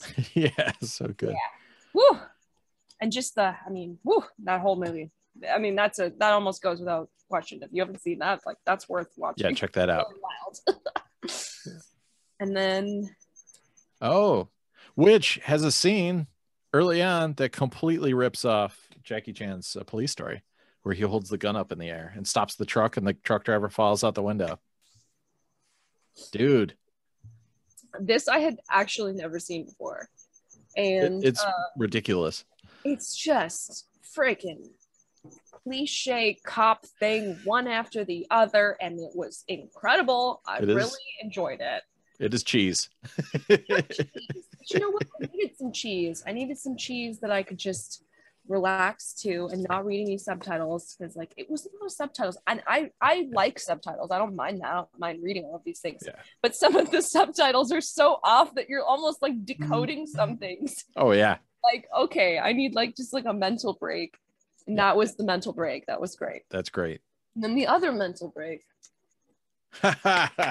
Yeah. now we're talking. oh yes. I was wondering who was going to get to describe this movie first. it's you. this came highly recommended from these people here. What a movie. What a freaking movie. I had zero expectations. I mean, Yeah. this cover just gives me nothing. It's just, Yeah. this could be anything, really, in, in Uh, this it's porn. genre. That's Yeah, well, It- it's boring But it but is there's so much more. it's so much more. This is a comedy. Yeah. This is a wild film with a lesson at the end. Right? Weird. this is just i mean look find this find this and watch this obviously you're of age to watch this Yeah. because It's category three. there's a flute there's a horse The there's surgery scene is like one of the funniest things ever. it's one of the I, I was laughing the whole freaking time i was like crying it was so funny to me just like Right. baby guillotines like purposely for that For- job Yeah, it's amazing. Like- like what how did he even have that and then he's just trapped in a barrel and then somehow he freaking gets splashed this medicine on his hand so his He's all hands numb. numb and then he's afraid of lightning and it's like a lightning storm Yeah, outside the surgeon like is like Surgeon. something happened to his family or whatever in a lightning storm. So whenever light uh, like there's lightning, he freaks out during a surgery scene. he's flipping out and then it's like his hands are all like i don't know I, can, I can't do surgery and we only have one incense left The barrel falls over and it's rolling around. everything is measured in how long it takes to burn an incense Yeah, that's like the That's like half an incense time.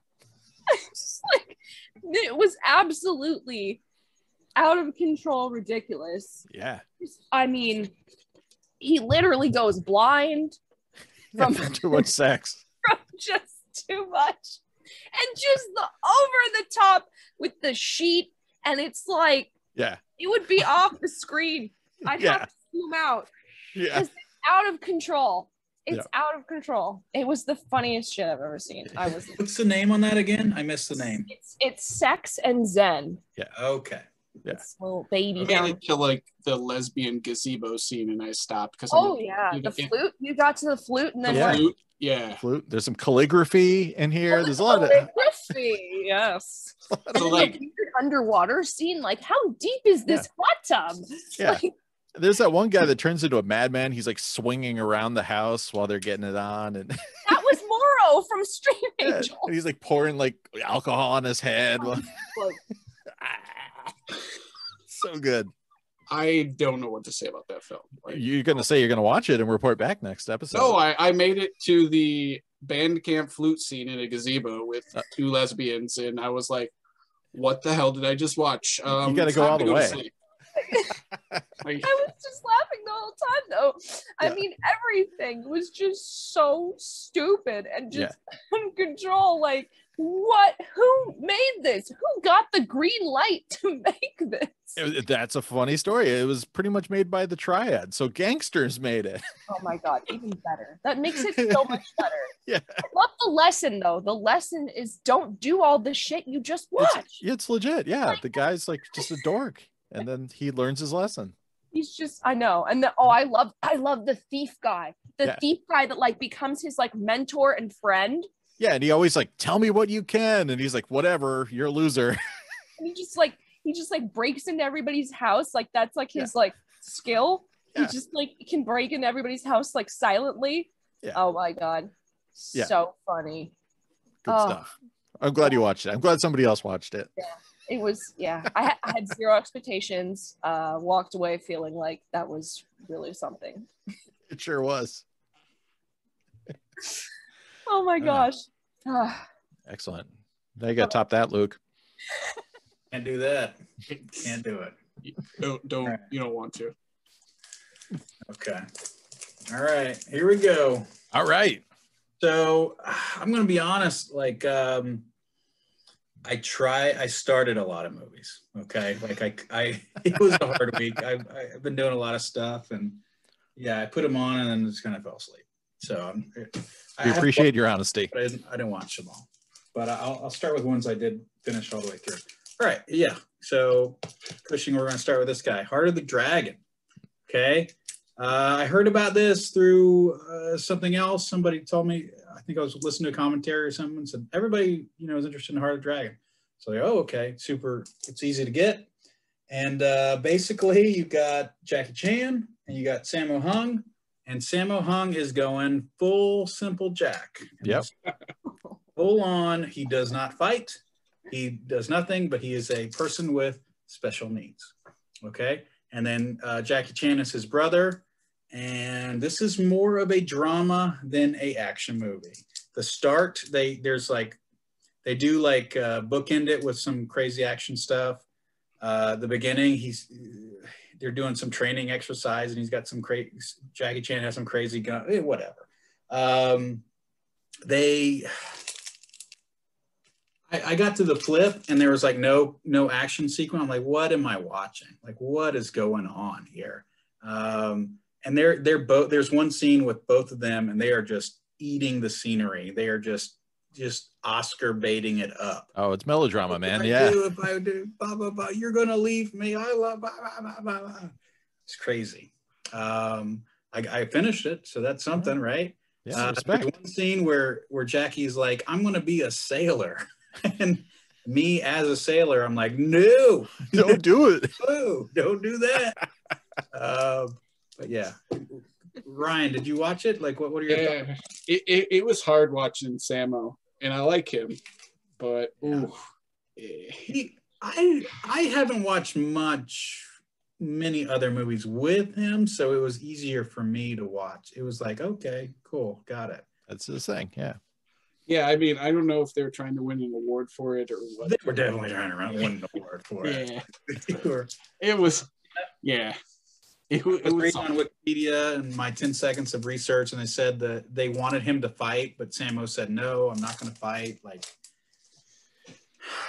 whatever. It, it, it was rough though. Yeah. All right. So, um, other movies. I, I'll, I'll I'll run through the Hong Kong movies I started but didn't really get into. Um, all right. Yeah, I'll do those first. All right. Next, first one. I, I tried to watch uh, Storm Raiders. Mm, Um, this was one I found in Singapore. nice. This has uh, Sonny Chiba in it. Yeah. Ooh. And I wanted to talk about Street Fighter, but it is a very it is a Japanese movie. Mhm. Um, and I, I always thought Sonny Chiba was half Chinese, half Japanese, but when I looked into it, I couldn't find any, and, and whatever. Anyway, I, I started this guide and I didn't get very far. Okay. Uh, Shaolin Temple, nice. Japanese, no English, started it, did not get very far. Corner Obi. Yeah. Okay. Cool. uh, this was another disc I found, you know, as I was leaving Japan. Police Story, the original Police Story. Nice. Cool. Um, next one, I, I wa- uh, this is a this is Crippled Masters, Oh, okay. American kung fu movie. Not like not many. There's not many American. You know, this is a U.S. release, Image kung fu movie, and it's Crippled Masters. He legit has no arms, and there's a guy I think who has no legs. It's it's kind of disturbing to watch, but it's it's pretty cool. Anyway, like Don't see that disc very often. Yeah. yeah, yeah, I got it pretty cheap. I mean, Nice. yeah. Um, some more that I watched. This guy, that's Hong Kong action. You know, I think there's two of these. This is Oh. a very like cheaply done American documentary about Hong Kong movies. It's one of those act, you know documentaries where you did, they just shot the person talking quickly wherever they were. You know, and Of they're course, it's got John Claude on there, right? Of course. yeah. Well, you, you asked too many questions. Uh, yeah, whatever. Yeah. Um, this one, of- you know, um, yeah, Yeah. Ooh, what do we have is, here? uh, let me show you. This is um, Stephen Chow movie. nice. He so you got like I said, John Woo, you got Jackie Chan, you got Bruce Lee, and you got Stephen Chow. I think those are the four for me. Uh, of course, Stephen Chow, who did um, Kung Fu Hustle. Hell that yeah. movie's it's amazing. Like it's just great. And this one is uh, God of Gamblers Part Three Hell yeah. to Shanghai. Okay, I would. I mean, it's there was a guy selling loose discs on eBay, and I, this is one I picked up. And it's I think the original God of Gamblers had Chow Yun-fat. Yep. And it seemed like a legit movie, but we're in part three, and it's just going back in time. It's just seeing meeting your grandfather. It's just craziness. It was Ch- Stephen Chow has that that Looney Tunes. You know, he's Kung Fu Hustle, like he, that one scene where he's just he's running like the Yeah. It, it's And just the old lady. good. Yeah, uh, he does it well. Um, the last one that I started is Black Mass. This is Yeah, the different cut. Or different Right? I pressing. found this in Singapore as well. Uh, according to LDDB, it has the the only original soundtrack version of it is on this guy. Interesting. I didn't get very. I didn't get very. Yeah. Okay. All right. Next one. These are movies I actually watched. Uh, this guy, Talk Radio, Mm. Oliver Stone movie um, about a radio host, very liberal radio host. He just uh, very popular, and there's one weekend where he's told that he's going to be syndicated, and he doesn't really like it. And it was just, it was. I really enjoyed it. This was a good movie. Uh, he's kind of like a Howard Stern character, where he just but more like direct and angry and just um, I yeah, this was this was an excellent movie. Uh, it's got Rockets Redglare in it. The, he's an actor. He who was in uh, Mystery Train, a lot of Jim Jarmusch movies. He's he was in this movie. I like seeing him. Um, but yeah, talk radio. Oh yeah. Um, other movies I watched. I will talk a lot more about uh, John Waters movies later on, Mhm. but I watched some Hairspray. Uh, I've got the original version too, Yeah, OG. and I watched this guy, Desperate Living. Um, this one was disturbing. Oh, it's got a warning right on the jacket. Waters movie. but this one was like a crazy Alice in Wonderland. I, d- I didn't get very far. I'm like, ooh, I'm not in the mood for this one right now. But uh, I think I'll have to revisit it. All right. Anyway, that's it. That's all I've been spinning All right. lately. Excellent. I'm glad you managed to power through at least a couple of films. Just a few. Just Yeah. a few. Yeah. All right, let's do some pickups. Bam, bam, bam. I think uh, let's see if I can get them all here. Making my stack fall over. Uh, a couple I already showed already, but I, I um oop, I broke my camera. I wanted to get the two part Drunken Master too, just because I had the the the gold single disc. But you know, when I had it on the tape that was bootleg back in the day, it would you know it ended halfway through, and it was like part two. Yeah, so it's like I really wanted to revisit that old version. So I found somebody uh, who was selling these, and I looked at it had the rental stickers. It was like you know added that level of reality. I showed this in the intro. I I'd never had a official copy of a Better Tomorrow two. Uh, great looking disc. I love these um the Golden uh, Princess and the Cinema City discs. A lot of the John Woo movies are from them. That they actually use the thick Japanese style jackets, uh, so they you know really hold up well. And um, but on the downside, like the transfer on this is, is pretty washed out. Like the, the blacks are kind of blue and everything like that. But yeah, it's a great film where it's the follow up to the classic A Better Tomorrow. John uh, Yun Fat's character uh, plays the brother of a character from the first one because you're like, oh, he totally had a brother nobody knew about, and he lives in New York. So um, Dean Shek for, is like just over the top. He goes pretty much uh, full simple Jack as well and uh, Chow Fat has to kind of nurse him back into shape. And uh, yeah, it's just uh, Leslie Cheung's great in it, and Ti Lung is is fantastic. And uh, it's yeah, it's got a great shootout, and it's got the the end of the film where they they just pretty much take on this entire gang inside this house, and they break out swords too for fun. And uh, that you could see that in True Romance. There's a little bit where Patricia Arquette's watching that at, at Christian Slater's house on his TV. Oh, yeah, Christian Slater. Yeah. I also picked up uh, Burning Paradise, which is a cool ass film, and this is a two parter. Uh, they actually uh, Tai Seng got these from Hong Kong and you know packaged them together and put the phobia on there. That doesn't, and it kind of tells you some of their other movies they have, uh, but it's just the straight up Hong Kong discs. But uh, Ringo Lam did the guy who did City on Fire and Full Contact, but this is like an old like Shaolin Temple kind of one. Is like these dudes in this temple that's just full of traps and there's this evil unit guy. There's always an evil unit guy. So anytime they try and do something, you know, the, the floors open up and gas comes out of things, and it's just so much fun. And it's also got Fong Sai-yuk, but uh, different character playing, you know, different actor playing Fong Sai-yuk, and different stuff going on.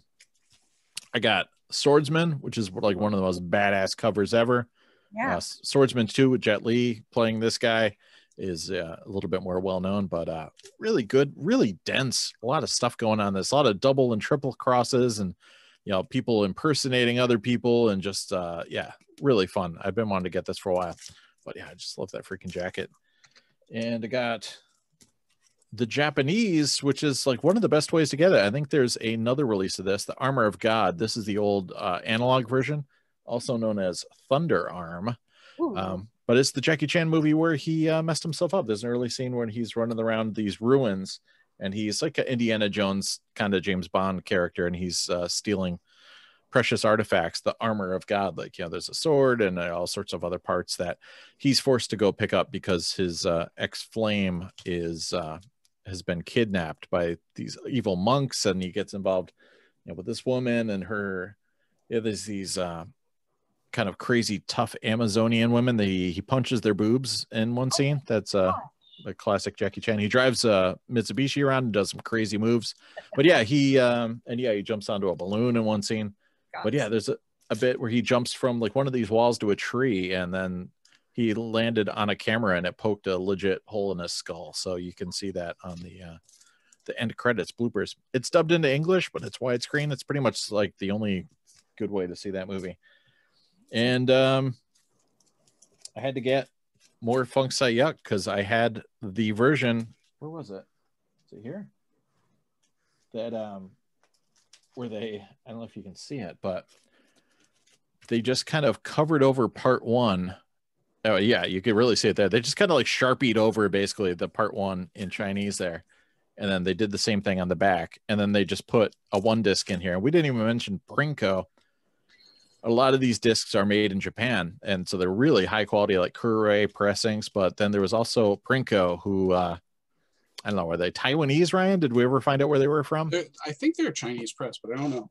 And uh, they're they're subject to rot. So these Fong Sai-yuk single discs are really easy to find, but one side is always rotted, and it's weird. It's like this power rot where every inch of the screen is like distorted, and the uh, the audio is totally messed up. So I found old rental copies of the original part one and part two, so I could watch it properly. And I think this is one of the cool ones where they're all in CAV.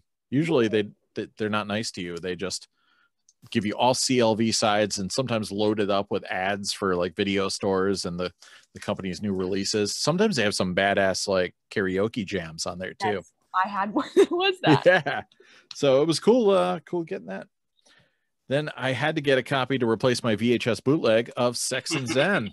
Yes. uh yeah, high quality. I think even like uh, it was Penthouse magazine was even like sponsoring this in their their Yes, Hong Kong magazine. Uh, yeah, you, you got to check it out uh, for everything Max said. But yeah, especially for the scene, you can't really see it there. But yeah, this guy, Oh, it's so good. uh, he decides he wants to get re-enhanced essentially, and this guy's gonna hook him up with a new gin- ginormous um, attachment, and uh, hilarity ensues. new new limb. He's a master New limb. limb Yeah. attachment. This could be tripod. Yes. And uh, got some Tai Seng American reissues. Heroic Trio, Johnnie To film, really fun. It's got everybody and their mother in this from uh, Anita Mui, the late Anita Mui, uh, Michelle Yeoh, and uh, Maggie Cheung.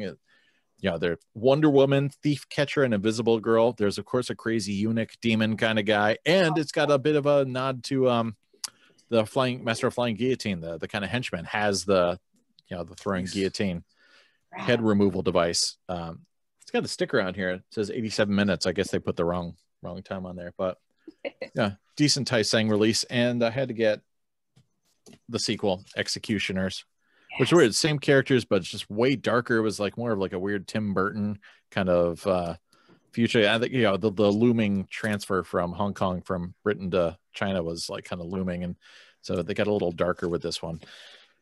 And uh had to get I had to buy these separately because some people sometimes people see the two parters and they think they're two separate movies. So I had to buy both parts of Wicked City, which is one of the rare occasions when uh they did um like a kind of sci-fi thing. This is uh you know, originally Japanese anime and, and book series and yeah, it's nuts, man. Of course, it's got all sorts of stolen music, lots of Western music. Um, uh, the the one band that did uh, the Friend song, they have a they have a track on here. Oh. And- Yeah, it's got cops. It's pretty much like another dimension with like demons and stuff like that. And there's cops that are pretty much monitoring them, and they're called like raptors. And this, you know, one girl's one of them. And so it's kind of got like a vampire blade-ish kind of vibe for it. Uh, but there's like shape shifting going on involved. So eventually, like there's this giant battle in this high rise, and I don't think they show it. I wish they did, but the the, the bad guy turns himself into a jumbo jet uh, and starts flying around the city. He's literally a jumbo jet with like a dude's head sticking out of the top. No. And it is completely insane. Yeah, so it's it's pretty wild. It's got a lot of wacky special effects. Uh, Jacky Cheung's in there, and uh, yeah, it's good stuff. wow. Uh, I had to get some old John Woo. I never had Last Hurrah for Chivalry. This is like one of his period pieces. It's supposed to be pretty good, uh, so I got to check it out finally. Tai Seng U.S. release. So got that. It's got liner notes included. Huzzah! And uh, the other John Woo one, Hero Shed No Tears. Um, this is like one of those ones he had, and, it got it sat on a shelf for years, and then A Better Tomorrow came out. And they're like, "Oh, put that out in theaters." So nobody really liked it that much at the time, but I've heard some good things about it. So again, Sing U.S. release. Wanted to grab that, and uh, I guess I'll leave that at that. Got a bunch of I got a bunch of other stuff. Max sent me some things. Thanks, Max. Yeah. Including this uh, Sony pen, which you probably can't see, uh, but I'll save those for the next podcast. Now I got some music related things, but I'll uh, I'll move on to Ryan. Well, Sam, uh, one quick update. Uh, you were correct. Uh, it was Taiwan for Prinko. For Prinko, okay. and they do have a website, which if you want to, we can drop it into the chat or Nice. uh, into the description. It shows their timeline of when they like started printing laser discs, and it, it's That's still awesome. there. It's just like a plain text like timeline. So really cool that that still exists. Some of mine are good. Like they did my Sex and Zen, and that was spotless the whole way through. So sometimes they do it good. But Oh Yeah. yeah. it makes me wonder if like the early ones, like everything weren't as good, Mm. but who knows? All right, so uh, I also kind of went crazy because uh, Sam and I were talking, and uh, things just kept coming up. And uh, why, why not? I, I mean, I won a like an auction with like six things in there, and I didn't have like most of them, so just it just kept raining. So we'll we'll try and go quick. Uh, first one is Prison on Fire here. hell yeah, Ringo Lam, man. Yeah, Right. I had number two, and I'm like, well, I can't watch number two unless I watch number one because, as we know, sequels always draw directly from the original. Absolutely. And I believe it's Chow Yun-fat because every movie should have him in it. Of course. Uh, a Better Ha. Tomorrow three. Wow. Yeah. There's your guy right there, Yep. Wow. obviously. uh, Bloody Friday. Mm. Wow. This is a Simon Yam crime mystery thriller Ooh. about call girls getting murdered. And I had to add this to LDB. And this came via Indonesia. Wow. It just happened to hit at the right time and I held it because why nice. wouldn't I? Yeah, of course. Um, I know we were talking about hopping Ooh. vampires. This is Magic Cop, aka yeah. like Mr. What is it? Vampire 4. five. I think it's five. Oh, five? Okay. Yeah. wow. Yeah. Um, So that, that guy is in everything. That guy was in uh, Heart, of, Heart of Darkness, right? Or Heart of, Heart of the Dragon. Yeah, he's in he's in all kinds of stuff. Yeah. Um, and it, it basically the synopsis is a former cop rejoins the force to investigate a drug ring that employs ghosts and vampires. Normal. Yeah. And that's what I love about this. Like they're not afraid to just throw something batshit into the mix and just go with it. And it it's wholly enjoyable because of it. Uh, we've got Wonder Seven Hmm. with Michelle Yeoh. Uh, government agents investigate a computer disk robbery. I don't know what a computer disk robbery means. I don't know if it's like a CD, a drive stolen. I grew up in the 90s. That happened all the time. There was a lot of computer disk robberies. Yeah. Yeah, yeah.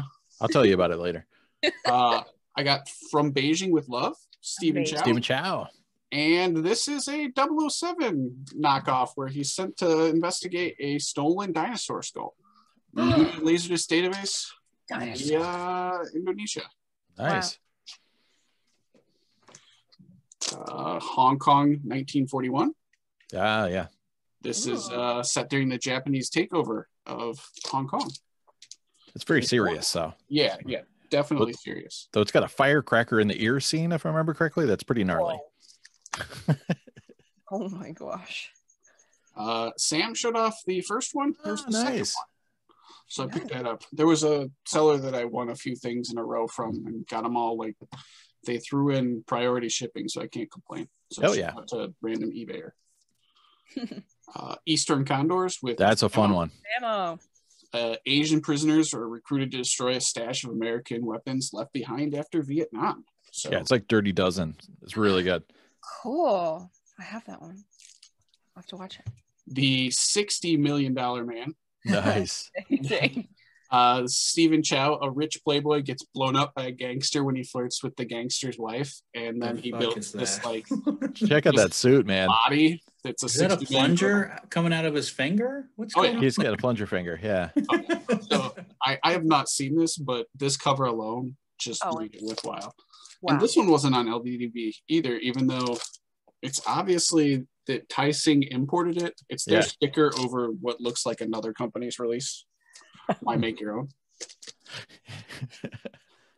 oh, Deadful Melody. Nice. Full melody, uh, a young security man must prove himself worthy by defending one object wanted by all masters of the martial arts world, the magic lair.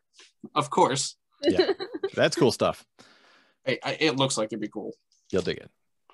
Uh, Hell yeah. Butterfly Yeah. and Sword. Sam talked a lot about this, so Yep. I'll keep rolling. Y- You'll dig it.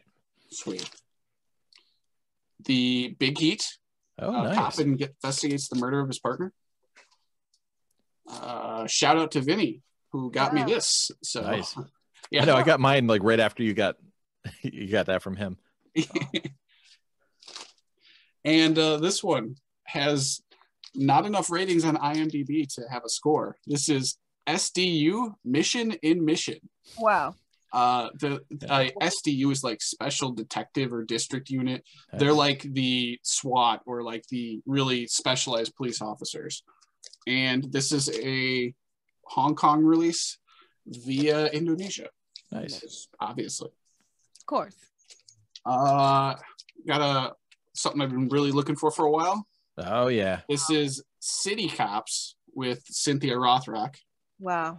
and it's about a tough FBI cop kicking her way to a final showdown with a Chinese mafia boss. So Wow. obviously, and it's got that guy in it. Again. Mustache power, man. Oh my god, Okay. that alone is worth you know a good fight or two. Uh, legendary couple. Oh nice. Amazing. I, I have no idea, but they're like she's in like a bathing suit with a gun, and he's got like it's just ridiculous. Great, great cover. Uh, the Green Hornet or Oh, yeah. Dragon in the Green Hornet.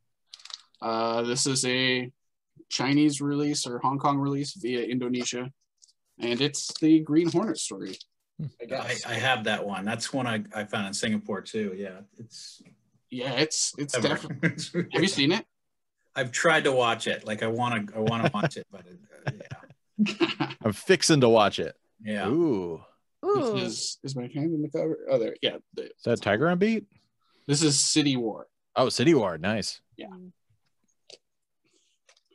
and uh, the original God of Gamblers. Hell yeah. Wow. This looks dope.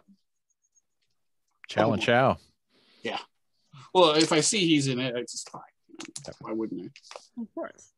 Uh, Man Wanted. Ooh. Yeah. This Simon one- Yam. Yeah, yeah.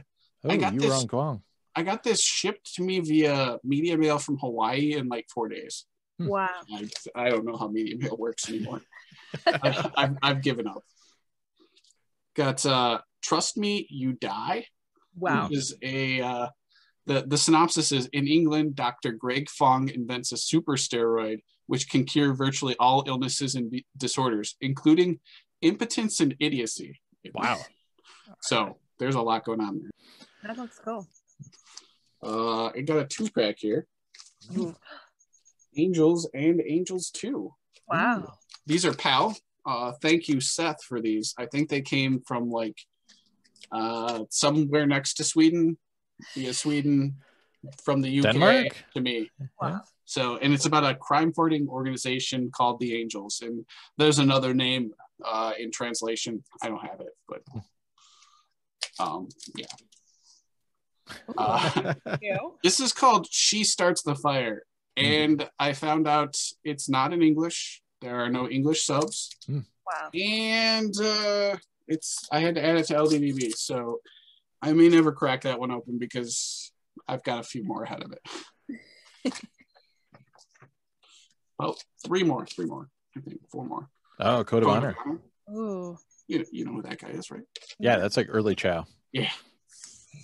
Now this one, I, I love this cover. Yeah. Real man. Warriors. Bond girl.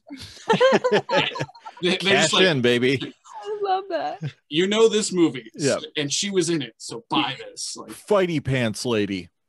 widescreen. but yeah, so uh, Royal Warriors, and it's a karate cop action drama. In case you were wondering what it kind of was about. Yeah. Perfect. Seen this? Yeah, buddy. It's the same copy. Yeah, my God. yeah. This was in the the lot with a bunch of the other discs, and Yep. I actually have the other version, so I'll have to compare. Yeah. But I couldn't get rid of it because I mean, it's Jelly. Yeah, dude. Uh, Wing Oh, Chun. Wing Chun. Nice. Yes. I have that one. Um, it's apparently an action comedy a little bit. Yeah. So. Yeah. Historical stuff. Do you learn stuff? Yeah, because I'm sure that it's 100% accurate. Yeah. Yes, it should be. 100%. Yeah, exactly. And last but not least, to the death. That is Wow. on the way to, way to end the mail. I should have gotten it today, but ah, Yeah, it'll so be here tomorrow. This just looks amazing too. So It is the shit. It looks like it. I mean, anytime that you have swords and Yeah. like fighting looks like on the top of like a hill or something. Yeah, it's like the best swordsman in China versus the best swordsman in Japan, and they have to score. It's like Highlander type shit. Oh my Yeah, like Yeah. it's it's beautiful. Oh yeah. You can't go wrong. Hell yeah. So how about you, Maxeene? Oh, it's hard to compete with all these. I got completely different type Yep. of stuff. We gotta start making Ryan go last because No, it's fine. I'm I, I love seeing it. It's amazing. Um, okay. So I had like a local like lot Hmm. like fund. And so um yeah, I got this guy. Norman McLaren. It's kind of this there's this whole kind of little series called Visual Pathfinders. Hmm. They're um they're just kind of like um showing you in certain artists of like specific like visual art. I have a Cool. couple of these, but um they're all really bizarre and cool and just like really like old uh like very early early ideas Hmm. of how to do kind of like digital art and things like that. Yeah, that looks 80s tastic. Yeah, exactly. It looks really cool. So I'm hoping there's some like um so he's like an animator guy. Some of them are just like they do like something specific and so this one's specifically animation. So there's a lot of really cool animation discs. So I have been getting into those lately. Respect. Oh snap. Christian oh, Bale. Yeah. Oliver Reed. Like Yeah. young young Christian Bale. They're all big names there. You got Yeah. Ben Bale, Oliver Reed, Christopher Lee. Yeah. I'm I have terrible. never I'm sure- heard- I know, I'm sure it's terrible. I know it looks like a TV thing. Look how young he is. Like Yeah. look how young he is. Is Yeah. that Image Entertainment too? It looked like it. It is image. Of course it is. Quality. It's of course it's image. Huh. yeah i'm really i'm really excited about that it's sealed so i will be opening Yeah, report back. i will definitely that was cool Nice. had to get this for my grandma um who's Stewart and Pierce. Wait, for your Patrick grandma? Stewart Nice. Your grandma's got taste. loves patrick stewart she loves pierce brosnan so this seems like perfect one to watch with my grandma Man. um but yeah this was like ryan showed that i'm like i need that so It's a uh, budget James Bond. I'll put it i there. love that though i'm really excited for that Oh damn. DB Sweeney. Anyone even heard and Peter Falk. like why is this real i have no idea it just looks such a like a weird i think this is kind of late-ish I was gonna say, might be. yeah i've never even heard of this i'm not sure what year it is Late release flex. yeah maybe and then um Silent Tongue. Another one I've seen that. Yeah, I just grabbed a bunch that were like kind of ones I'd not heard of. Got the Had- Dermot. Yeah, it's got freaking River Phoenix in it. Oh shit. So Richard Harris. All right. yeah, looked kind of interesting. Okay, now here we go. It's my favorite type of genre. Whoa. Mon- Money money in the marketplace. Money, yeah. Choosing got, that, what got them stonks. It's the songs right now, guys. This is how you learn about songs. Look at those graphics. Those coins. high quality graphics. Now I need you to know that this was marketed for children. Oh. So this should be really exciting because it's It's puppets, It's probably Yeah. not. Seth is right up in this. music, photography, animation to introduce young children to economics and basic money concepts. So I'm gonna rock my piggy bank hard after that. all the way, all the way to the bank. Uh oh. Ooh, Rainbow nice. flags. Dude, it looks like fucking John C. Reilly or something. Yeah, right. Or I like know that's why. it's just like this one looks really cool. My I have several friends who are very much into 35 millimeter photography, Yeah. so this should be a fun a fun watch. it's like 35 dash mm too. It's like Very like official. very official. Kind of get some Chip 'n Dale. Oh, Yeah. Rescue Rangers. Yeah, Hell what yeah. I'm talking about. It's afternoon. Afternoon. Oh, yeah. uh, After school watch there. Montgomery Jack. This is sealed, so I'm definitely opening that. Yeah, that's my jam. I got another animation one. Oh, I've seen that before, like for Yeah. sale, but I think Is uh that Voyager, right? yeah, this is a Voyager one. Yeah. It's a gatefold. Yep. But it's um I I just like these are ones I like to put on in the background and just like Yeah. kind of get caught up in them because some of them are just so fascinating. But this is like all just like animation and it says like there's some um a bunch of different sources. There's like Tex Avery's on the back here, so Hmm. so this looked pretty cool. nice. It's good. And then uh Ah, Ooh. Resin. Nice. This is a uh, really crazy looking one. I've heard good things. yeah, I've seen pieces of that. High quality. New Line Entertainment. Oh yeah. Got a little karaoke VOD. Late Jesus. release karaoke. I was gonna say that looks like it was made in the 2000s. This is a late release flex. Look Holy at crap! these songs here. I mean, these are all like Is that Frozen by Madonna? Damn. yeah, Frozen by Madonna. We got friggin' um there's several Spice Girls, Viva Forever. We've got Backstreet Boys. And we've got more Spice Girls and Celine Dion from Titanic, of course. So if you get that in Spice World, you'll be Spice Girls complete. Maybe I have Spice Girl. your Spice Girls complete, Oh yeah. unless there's Power Music too. Yeah, I know. Oh gosh, we have to find out now. Yeah. All right. On to the really good stuff. Yes. Got Manhunt.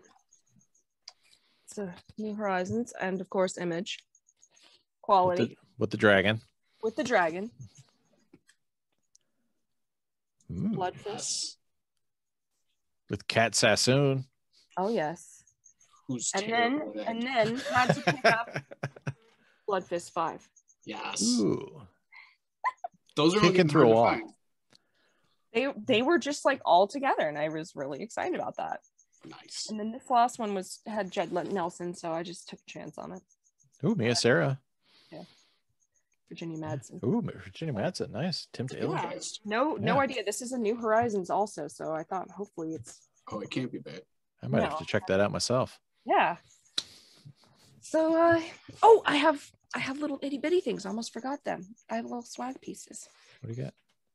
see if I can focus on it. It's a little Ooh. CPI pin, Nice. Nice. and then this one is laser karaoke. Oh, is that the parrot? Nice. It is. It says who's next. Nice. The, pi- the pioneer is so tiny into there, but it's there. We got to figure out if that parrot has a name. I know. I want to know his name. Yeah. I hope it's like Walkie Squawky or something. Yeah, Squawky.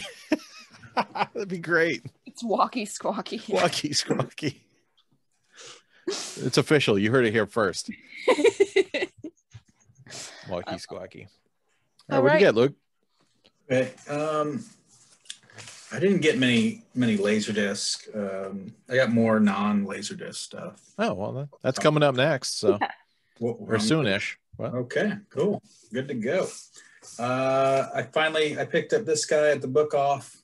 We do have a book off in San Diego. I got the uh, the regular Say Anything nice. nice. Japanese version, but I didn't have the the U.S. release. If you have not seen this, you need to pull the rock that you are living under off YouTube and go see it because it's the best movie ever. Uh, then he sent me a box. He, uh, you know, got the. He sent me two discs and, it, and a note that said, "If you miss home, you know, watch these." And these are great, just Japanese movies. Uh, some Smithsonian Laserdisc, reflection on the Japanese garden stuff, which was, Oh. you know, whatever. I miss, nice. I miss Japan so much. Oh God, let me go back. Uh, and this one, uh, this was a movie called The Inland Sea Ooh. the Voyager release. Um, but when you put it on, it, you know, it's Voyager and everything, whatever, Janus Films.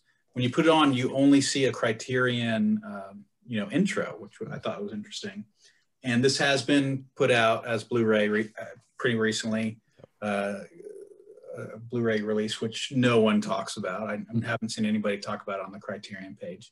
But it's basically a documentary about a guy who went to Japan and you know, then somebody else came back 20 years later.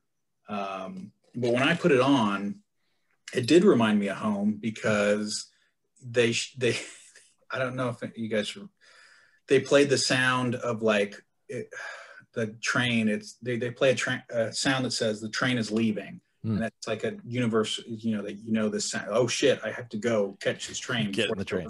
I was like, oh, oh, it was. Anyway, it, it did remind me of home. You you asshole, Benny. Thank you for those. um, I picked up a new player recently. Um, I'll talk about that in a little bit. But the guy said you can pick two of these discs out of this box, and there were a bunch of commons I didn't care about. But just the two I picked up were, you know, the widescreen Chinatown, which Very nice. cool.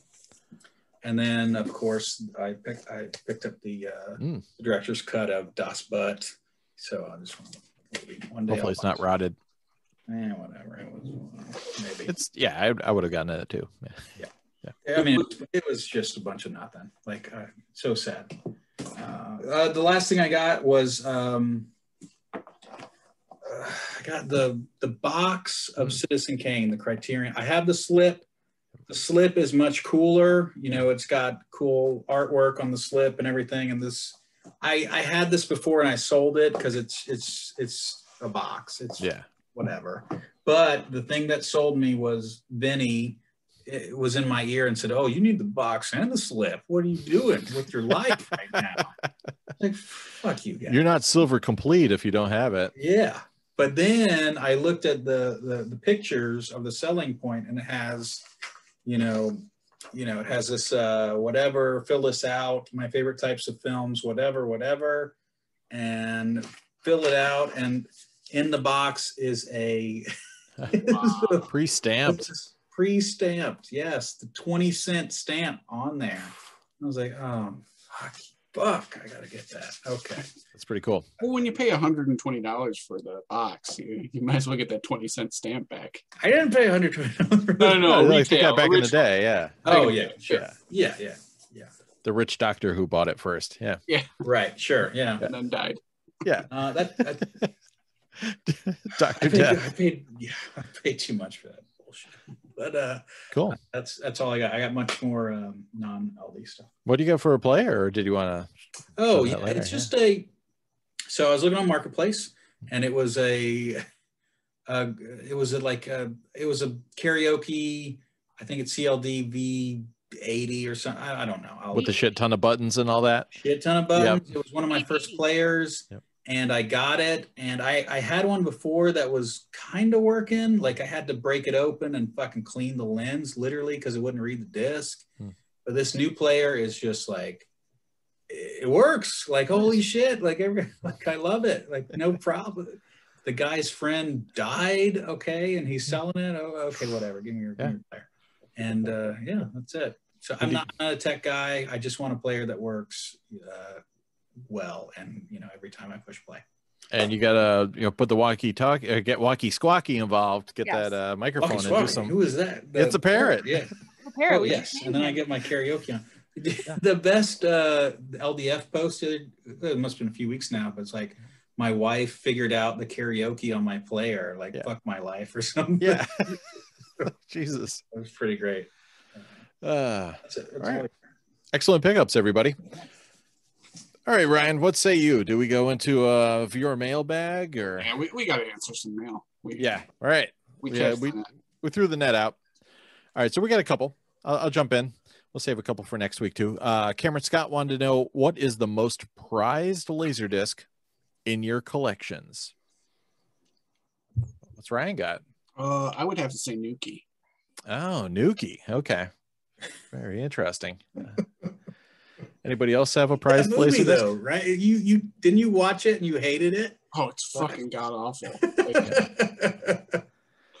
I, I, it, I, I don't know if I could get through it again. Like I made it all the way to the end. and I feel like that's a lifetime achievement. I, I don't know why they made it. I don't know. Like I get that the government put it out in like South Africa, but they shouldn't have. They should have just shut it down and been like, we, there was a fire and we lost all the film elements. Like Oh my god!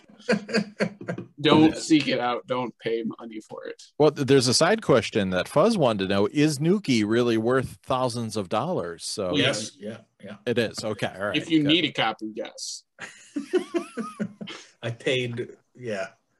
I'm not even gonna get up and get my copy. I because that's Greg, you have one. about that. Oh my gosh. Nukie But has three always fifths my- of the world population of Nukie on Laserdisc. And There- the there's other a one, there's the fourth one in North Korea. there's a there's a third side question: Who used the font first, Nukie or I Come in Peace? Um, which movie came out first? I don't know. I'd have to do research. I thought you're the Nukie master. You're supposed to know this. I would assume that it's I come in peace. Yeah. Uh, Nukie was 1988. Yep. I Come in Peace was 1990, but it came out first on video. Oh, there- Okay. There's a third Nukie. So um, All right. it was probably I Come in Peace, and Nukie just needed some graphic art to Yeah. fill the space. I was going to bring out my Yanni live at the Acropolis as my most prized LD, but that it's over there, so it's just not happening. Sorry. Yeah. I saw it on VHS. I forgot to grab it for you though. I know that would have been sick. I could have been like Yanni complete. I mean, maybe Betamax, maybe I don't know. I Oh, think it's a no. little late for that. But yeah, I don't know. My my go to answer is always my Macross Memorial box. You know, it's not worth that much, but it's my favorite. So, and and Nukie, of course. I'm my my copy's back there somewhere. Mine, mine is always the uh, the Laserdisc uh, press pl- pressing plant tour Nice. in Carson City. in Carson City. Yes. Yes. The Go press Turtles. Career college. All right. Um, you got an Wait, wait, interesting one. wait. What? What you got a Oh. prized possession? Yeah, of course. of course. It's not Nukie. I It's thought it was not- Nukie. oh, fuck no. You, you showed Nukie. You showed Nukie though. Yeah. I'm just showing off. I'm just flexing, man. Oh, okay. All right. All right. What do you got? I so I have a cube full, like a full cube of discs that I'm like, why the fuck do I have it? Like just crazy discs, you know? It's it's Yep. prized possession. But of those, I think I I don't know the ones I love, not worth the most or whatever. But I Yeah. love my bad taste. Like it's just I love this movie. Like Second this movie in high school started it all. It's like oh shit, there's movies like this. And so I love this, and of course I love my No Mm, Holds Barred. Yeah. Like it's, Nice. Hogan Flex. Oh yeah. Did you take that off? What? No, it was like this. That's how That's it crazy. That's They just weird. Yeah. moved it because they didn't want to get rid of it, but they like Yeah. they also That's didn't funny. want it to, to take away from this, so they just put it on. That's funny. Yeah, because they had to censor it. That's a trip. So. All right. Well, good. All right. Good choice. It's no Nukie, but whatever. Um, All right. Here's here's an interesting one. I don't know if anybody like really collects these hardcore, but Jared Brown asked a pretty cool question: Is what's out there for best PAL exclusives or like exclusive cuts of movies where the Euro cut is better? There it is. Ah, there you go. Yeah, that's the one. There's no feebles over here, man. It's only PAL only, right? Yeah, those dragon releases are nice. Yeah. If the they're in Dragon English. release are weird. Like some are NTSC and some are PAL, and Yeah, and the same with the uh, the horror films, like all the you know Blade in the Dark and all that stuff. That's all NTSC too. So Street Trash is only NTSC. yeah, so it's kind of weird. Deadly Blessings is another PAL one. That's only There- PAL. there's a few others, but Yeah, yeah. I want to get um Seth's one there, the Terminal Man. I want to get that. Oh, Um, there's some weird ones where like only the letterboxed versions are available. Like my favorite movie, Legend, uh, one of Luke's favorites, is uh like it's letterboxed in like France and the UK maybe, but not over here. Uh, it's also four percent faster. So what about I had uh, the thing like uh, I think it's like a gold disc or something. Hmm. I had that early on. I sold it because I don't have a player, but I heard that was a decent, you know, a decent version of it. I don't know. Yeah, there's that one company, um, was it Encore or something like that? They came out with a few that had a bunch of extras, like um, uh, Jason the Argonauts. I think has like cool PAL test patterns and stuff on there, and some like good like exclusive extras. There's that. I like I like the Jurassic Park cover. Hmm. I've never, you know, that's a great cover. That is a cool box. Yeah. Yeah. I keep hearing tales of all these Arnold movies that are ex- uh, uncut, like your Running Man and like you know Total Recall, but then other people are saying they're not; that they're just the same cuts, or they're you know that's a weird thing. Like so many censors, like you know, German videos are cut a lot of times, so it's Same hard to tell what you're gonna get. Yeah, true. Good point. Um, there is the uncut Just Before Dawn. Uh, Hmm. It was put out right before like they started cutting all the films in the UK. So I think Uh, Bill had a Inferno copy that I think he said was better than I don't know all the rest. so yeah, I think that's the German one, Hmm. if I remember correctly, because the UK Yeah, one, maybe. cut- or or it was the U- UK pan and scan, and then they came out with a letterbox that was cut. yeah, So Oh. yeah. I want to get the Evil Dead stuff just because like for some reason the skulls are all blue and they're called Tanz der Teufel. So I want to get some Tanz der Teufel discs. So What about the uh, Holy Virgin versus the Evil Dead? is that a uh, is that an official PAL release only that I can No. get? Yeah, no, yeah. But it is an Evil Dead. You don't have. Good point. I know I have Return of the Evil Dead.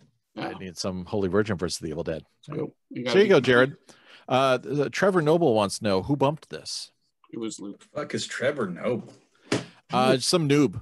Yeah, Fucking noob. yeah, noob. Speaking of Trevor, he let us know during the show that New Jack died of a heart attack. Oh no, Yeah, right?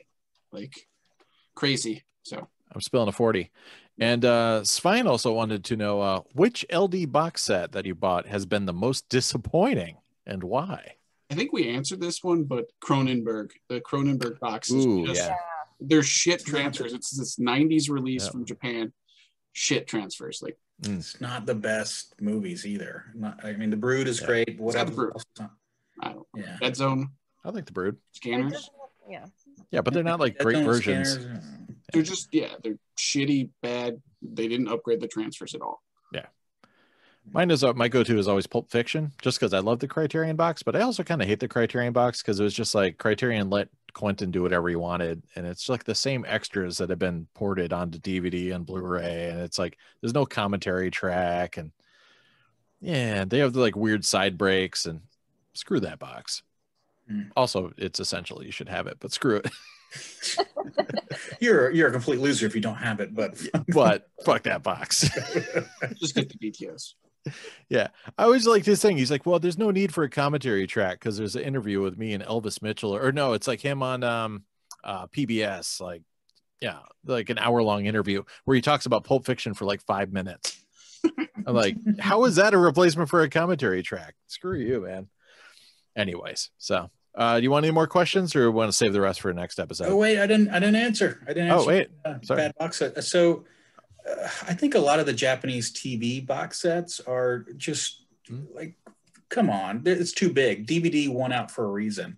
Uh, the the Star Trek box set they're just huge. Like you have every. Come on, no, I can't move those around. X Files for days, baby. I have every X Files episode, and it's just I have it. I bought it for my wife, and my wife is like, "I'm not messing with those." Yeah, You need them though. yeah. It's like the Pulp Fiction box, man. You need it. I'd like the question about the oddity discs because I brought some. Yeah. Oh, all right. All right, let's move on then. Jason Floyd wants to know what's your favorite oddball, goofy, or just plain weird LD? of course. All right. Ooh, Video Tax Guide 1987. Well, taxes, you got. It's so specific. Specific. Yeah. It's so specific. Like, why is this real? I love it. How many did they What is make? of? Touche Ross? What is that? This is an April essential watch. Um, it's I May, May, May seventeenth this year. That's pretty good. I like that. This is hilarious. And then I also brought the next one. Wait, wait, wait, wait. Does it cover cryptocurrency? I mean, it's 87. 87. So, yeah. Okay. So clearly, to of Yeah. course, yeah. Yeah. doggy coin is in there for sure. Yeah. Swatch coin. Dogecoin. And then, of course, The Lamaze method. yeah. Oh. because everyone needs the Lamont's Like, That is what? great. another one that's just like, why did they make that? And um, yeah, it's very odd. I don't like how everyone's focusing except for that one woman's just staring right at the camera. She's just like, hey. I'm about to tell you how to Yeah. do breathing Nice. technique. but yes, there are many, many more. This could be its own top five, guys. Man, yeah, we should probably do that. Like oddball. I don't have that much weird stuff. I mean, I guess my favorite is Motor. Fantasy. just because it's all about cars, except there's random nudity that shows Yeah. up. So Oh yeah, motor fantasy. Yeah, Yeah. That's totally on board. yeah. The so other one I considered. I have these ones that are from like uh, Merle Norman that are like Hmm. skincare routine that like are damn. they're like from a, the company for the people, like showing them how to sell products. So those are pretty good. I, I do like the old Disco Vision title, "Touch of Love Massage," Oh with the Oh, big red good. lettering for adults only. Probably like the first Yep. Laserdisc porno. Oh Can't yeah. sell that on eBay. Yeah. Smut peddler. Killing me. Smutty over here. Uh, all right, well, let's just crush these. We're almost done, actually. So let's power through these suckers. Uh, our good friend Spencer wants to know what is your current viewing setup like? Ooh. Yeah. I mean, What do you, what do you do there, Ryan? it's uh 99 S video into DVDO iScan Duo Okay. to an HD TV. I never see much like Ryan gear shots, so it's always a mystery what Well, you're doing. I've- I've got an S2 and an X9, and they just raw dog right into a TV. Nice. It still looks great. So, Mhm. hey, whatever. It just depends on what room I'm in. Yeah, cool. Max, you got some new setup stuff going on. What's your? I know you said I had a picture last episode, but Yes. So um my my tower of power basically is currently the W1, uh the R7G and the uh DVL 91. Mm. And uh, everything's going to iScan HD plus, and uh, I have the little Extron boxes for little comb filter guys. hell yeah, The W1 for sure. cool. The R7G is going straight S video S video, yeah. um the dvl i've i've kind of gone off and on with the John box just Yeah. to see what it's like but pretty much everything's going s video Cool. Um, and then i got that big ass tv for freaking cheap uh because who wants digital projector tv that's that big Yeah, Me. so hell yeah, everything's hdmi into that nice. What are you rocking, Luke? I'm straight raw dogging, baby. I'm straight going laser Laserdisc TV. That's it. You got a I- new TV or CRT or? No, I, I just yeah the old flat screen. I have an old Sony flat screen smart TV, and I I have no issues. I'm fine with that. Like Nice. it, it looks fine to me. Like Yeah. so that's it. That's right. I got the Quasar raw dogging into that 4K TV behind me. In the other bedroom, I got an LDS one raw dogging into a Samsung panel. And then, uh, yeah, in the main room, I got um, the SX30 projector, you know, with the eval board and uh, the DVDO uh, Edge Green, and uh, also, you know, what the R7G. Got to have an R7G. Got that S video going out of that. I got the Sony C2EX Muse player. That's the main that thing. I pretty much use that every single day. And um, what's the third one? Oh, the PAL player that Seth sent me. All going into an Extron switcher box, so I can like kind of go between all three of them, move around, and uh, if I want to watch a PAL movie, I can uh, fire up Seth's old player. So Rad. uh, yeah, that's about it. So. All right. Uh, next question is Jeremy wanted to know uh, what did the Wolfpack watch for Mother's Day? I'm trying to remember. You watch Mom. Nice. Uh, let's see. Uh, what Who's in did I that? watch? Is anybody in that? this is crazy. Let's see. Art Evans, a bunch of people you've not heard of. Nice. It's an epic. I And was trying to. Who was that? It? Epic RCA. Oh, RCA. It's a little hard to read who's in it, but it's crazy looking. Is, it, is, is that a Troma movie or no? Uh, it's Troma adjacent, but you Hmm. know, it's You're thinking of Mother's Day. anymore. Okay, Yeah. sorry. I was trying to think of what I watched. I think I just watched the HK movie on Mother's Day proper, but I can't remember which one. I watched Black Mask, so It might have been Swordsman.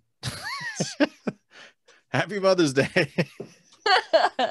What's what's the best movie to watch on Mother's? I mean, Psycho is the first thing that comes to my mind. Like, Well, High quality. Yep. I mean, the Yeah. Troma Mother's Day, obviously. yeah. Yeah. What else is out there for good mom movies? Uh, Mommy Dearest is that on Laserdisc? Yeah. Hmm. There you go. Watch I don't those. Okay. Yeah. And uh, all right, we uh, we talked about Nukie. Uh, Yorma wants to know how many discs in your collection have you not watched? A lot of them. Yeah. Zero. I've watched Yeah. every disc multiple times.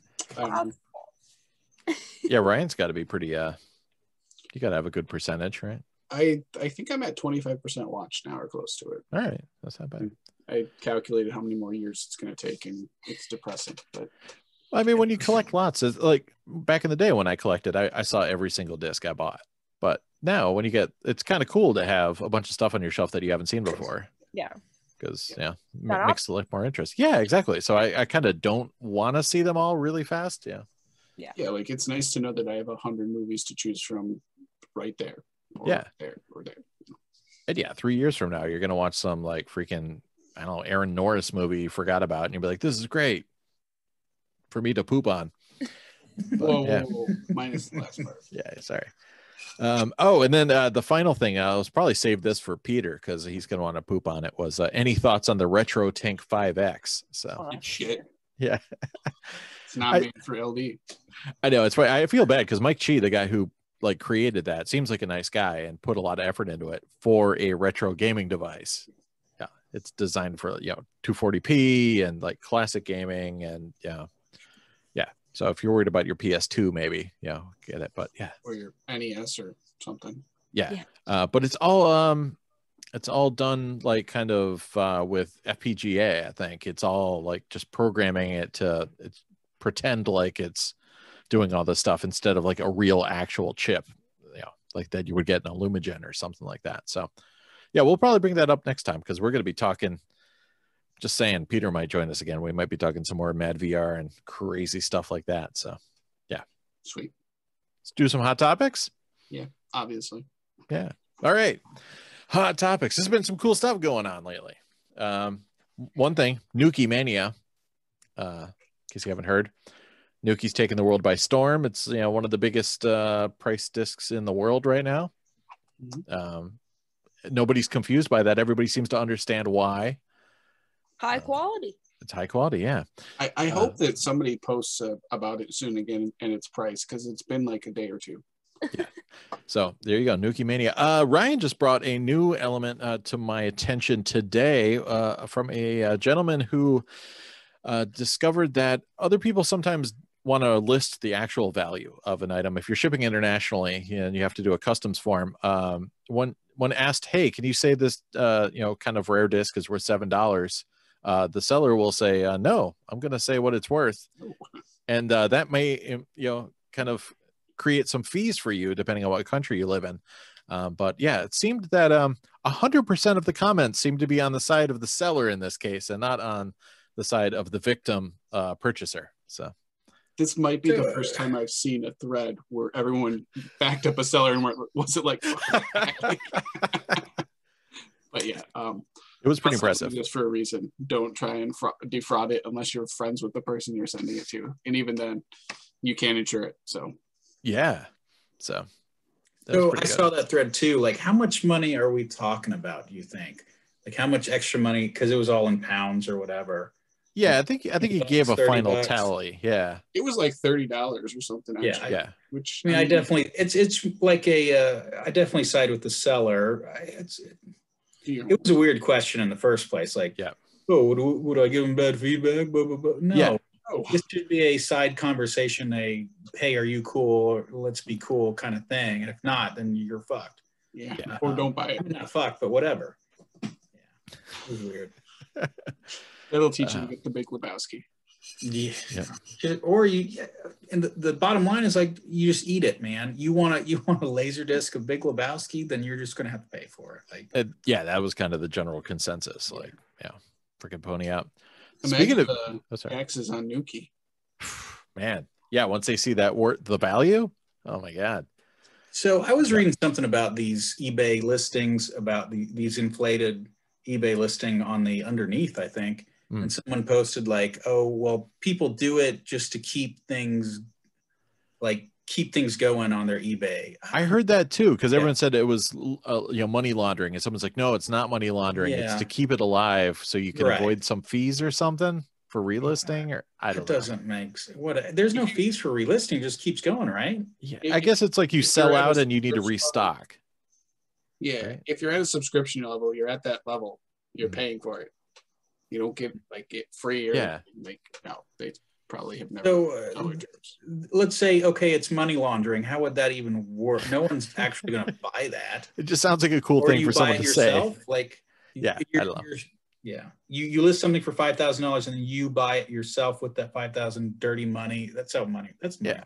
I've only known money laundering from Office Space. I don't know how that works. But yeah, I, I I think Yeah. they're doing it for certain things, supposedly like the Black Diamond Disney movies that you see that sell yeah. for the stupid prices. I Mhm. think that that might legitimately be it, but you know, who knows? because yeah the, the way they were trying to kind of promote it was is it's if you stock like multiple copies of something so if you had five and then it's out of stock you just bump up the price to $15000 while you get more stock but That doesn't line up. yeah because all this stuff is unique items really like a lot of these are you know one of a kind you know laser discs and yeah whatever Or they're not always in the same condition. It's not like you're going to get a whole stack of 20 new ones in again, like Rat. yeah Who Yeah. Yeah. that yeah lightning doesn't strike twice uh, uh, speaking of ebay i heard our good friend smutty can't smell sell porn on ebay anymore is that true ryan Yeah. Is that true I- smutty I hear that you can't do it. Uh, I've seen Okay. it pop up in DVD forums and VHS places. Hmm. Facebook's going to be the smut peddler den. I Laserdisc forever. There's a couple good sellers there. I hear. fair enough yeah Maxeene with their box of porn. yeah. Got Just- shelf of it, you know. What do you do? just go down to the Dollar Tree and uh, you know put out a call. She'll meet you there. So, so yeah, okay. So I I was in the record store the other day and I looked through their their crate that I've looked through a million times, and then there happened to be two porn discs. And Mhm. for me, when I'm looking for stuff, anything interesting, I'm going to get like remotely interesting. And porn is on that list. Like it's different, it's interesting, and I, I usually sells pretty quick. And I sold I sold it within a day. Like that's not bad at all. Um, but yeah, now, oh, now I can't. I- I hate having it. Like I hate Yeah. having it in the house. It feels weird. You're gonna have to go into the new auction group. Is anybody uh, taking part of the new auction group that's been making the rounds? Yeah. I, I, I, think I won tonight. Yeah. What do you get? Do you Uh, want to tell us later? We'll, we'll find out. Okay. All right. It's a secret. And then I believe Vinny sold something. So I think he sold the keep, but he said he could have sold the keep to the guy who bought it anywhere. Yeah, just regularly, probably. But yeah, I mean, the price he got was good. Like I, I it was good. put the Yeah. math down for it. I'm like, "Okay, that's good. Like that's Actually, yeah. better than eBay. It's way more than I paid for the keep. So yeah, good Yeah. for him. Um, speaking of high prices, uh, this kind of gets into a couple things, but the Crimson Rivers, uh, very very late release, uh, went for quite a bit of not. I guess not as much as the previous time. It didn't crack like what three grand this time, but uh, but it also pissed off a bunch of people because uh, they were posting uh, live that live auction in LDF. Can't post live auctions. Yeah. No. It's actually legitimately in the in the rules that you're supposed to read. So that it didn't go over too well. Yeah. Plus, like, simple fact is, like, you weren't going to bid on it anyways. Talk about it after it finishes if you want. Mhm. Otherwise, just keep scrolling. Yeah. You can post about the buy it now price of Nukie if you want. Yes. It's kind of high right now. Which also leads into there's this guy who super is super angry all the time about people who post like outrageous auctions because yeah, obviously that happens all the time. Like, look at this guy wants two thousand dollars for this. So That's also in the rules, by the way. Yeah. So there you go. I mean, I guess it's it's a dead media, it's a dead format. We don't have that much to talk about. So eventually somebody's gonna have to be like, hey, look, somebody wants four thousand dollars for this disc. It's wacky. Yeah. Then everyone has to be like, oh my god. Well, there was a Nimoy video posting. It'd been been like Yeah. a week two. So Yeah, I had to reset. Uh, Trevor told me to reset the clock. There's been I forgot how many like five days since the last Nimoy incident. I need to make an actual graphic of that and uh, a regular show or whatever the hell whoever Can did we that talk last. about the sandwich and Nimoy, the Nimoy sandwich? That was great. The, uh, oh yeah, the guy who was like a craft services dude ended up becoming like Nimoy's best friend for a day and walked hand in hand on the beach with him, sharing just like tender moments. he made him a sandwich. And they talked about Shatner sucking, like basically. that was pretty good. Wow. Yeah. Sometimes you get gold out of those posts. Oh, yeah.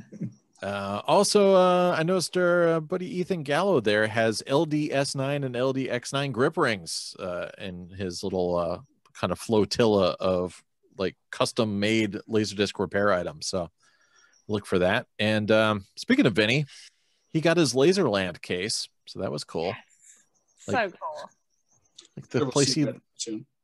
Yeah, he like legit managed that place back in the day. I always love how Vinny's got this like secret cool past of like, I'm pretty sure he was like a, you know, he says he was a DJ, but I'm sure he was like a superstar DJ in like some country that we don't know about. But yeah, he was like running this place that did like HT in- installs and badass stuff. And yeah, he has this cool like Laserland case. I'll get a photo of it from him. And uh, he also started a laser Laserdisc player census, which I'm not sure what he's trying to do. If he's trying to take our players or what the deal is here. But he said uh, it, it generates good conversation. But I think he's trying to trying to weed out the people that have zero players, It's a good way to kick do them, kick them out of the group. So, um, and what else? Oh, Hayden had a killer uh, King Kong shit post this week, Oh, that was great. which uh, yeah, surprisingly uh, fooled a lot of people that are, are kind of like they've been in the group for a while. They should probably know better, but unless they were like epic, like trolling him back, it was like shit post upon shit post. Yeah, I don't know about that. I don't know. Yeah, it seemed But did Shout Factory actually release a King Kong box set or something? Shout I think Factory so. been around that long. Yeah. yeah, but I think there's no, did they really make a, a Blu-ray release? Yeah, I think there's a new Blu-ray with the TV cut and all that stuff. So yeah, so he just laser discified it. Yeah. and everybody fell for it. Who's the old one? He, he did the uh, oh Dune box set, right? The, Yeah, yeah, he did. Good Uh, stuff. Jodorowsky Dune. Yeah, that's Yep. good. I think that's about it for hot topics. You got anything else, Ryan? Nope, that was it. All right, cool. We crushed it. Let's kick ass. Let's get physical, everybody. With Nukie or With Nukie. uh so yeah, I'm in the process of moving. So I didn't actually buy anything new, but uh I've been packing. So I've been going through stuff. So I'm just gonna show some cool HK stuff that's not laserdisc I happened to trip across while I was um, you know getting ready to, to move, including a couple books. Um Thomas Weisser's Asian Cult Cinema. It's a fun book. It's uh, the same you know group that did uh, Asian Trash Cinema back in the day. Uh, it's called Asian Cult Cinema, but this book is entirely HK. Uh, this is the guy that lot, a lot of people kind of had a love hate relationship with because he was like just totally shitting on some movies. So it's it's either the best movie you've ever seen or it's a total piece of shit, even though it's like really entertaining. Like let's see what he gives New Legend to Shaolin. Yes. I think he, I think he takes a dump on it. Hold on. Let's see what he gives it. Naked Killer 2. Eh, New Legend Shaolin got two and a half stars. Yeah. Yeah. Last movie. Yeah. Yeah, he trashed it. But the cool thing is it's got all the stuff that like we were talking about. Then in the middle of it, it does um it's got oh, it's all blown out, but it's got the roots martial arts. It talks about all the you know the classic Shaw Brothers films in the 70s stuff. So it's got a bit of everything. And uh, I got another book uh, called Hong Kong Babylon, which is kind of blown out here. Uh, another nice one, but it's got a lot of good interviews with the actors and and the filmmakers uh, in here as well. So it's got a lot of that same stuff where it goes through like each film and gives you a little bit of a synopsis, but it's really cool stuff. It's got you know interviews with John Woo and Chow Yun Fat and everything, of course, Michelle Yeoh, and um, yeah, I found a bunch of you know DVDs and stuff like that of uh, you know eight million copies of The Killer. But yeah, Duel to the Death, highly recommend that movie. You should get that. And um, what was the uh, Luke was talking about? Of course, you got to get some uh, Crouching Tiger, Hidden Dragon. I think I imported this from Hong Kong back in the day because it wasn't available here in the states yet. Yeah. But um, freaking um, where's that damn uh, yeah, the Bruce Lee one. Uh, I think this is on a couple different things, but the Bruce Lee Warriors Journey has all that footage from Game of Death that Wow. the original version of the movie that he was trying to make, which was going to be pretty cool. It was going to be like a, it had George Lazenby from On Her Majesty Secret Service in it, and they were basically going to climb a pagoda, and each level of the pagoda would have a master of a different form, and then eventually Kareem Abdul-Jabbar is in the top, and he's like the the master of no form, and Oh. um, so it's got all the the kind of cool test footage and, and stuff that they did shoot, and yeah, it's got some documentary stuff on it. So I highly recommend checking that out. And um,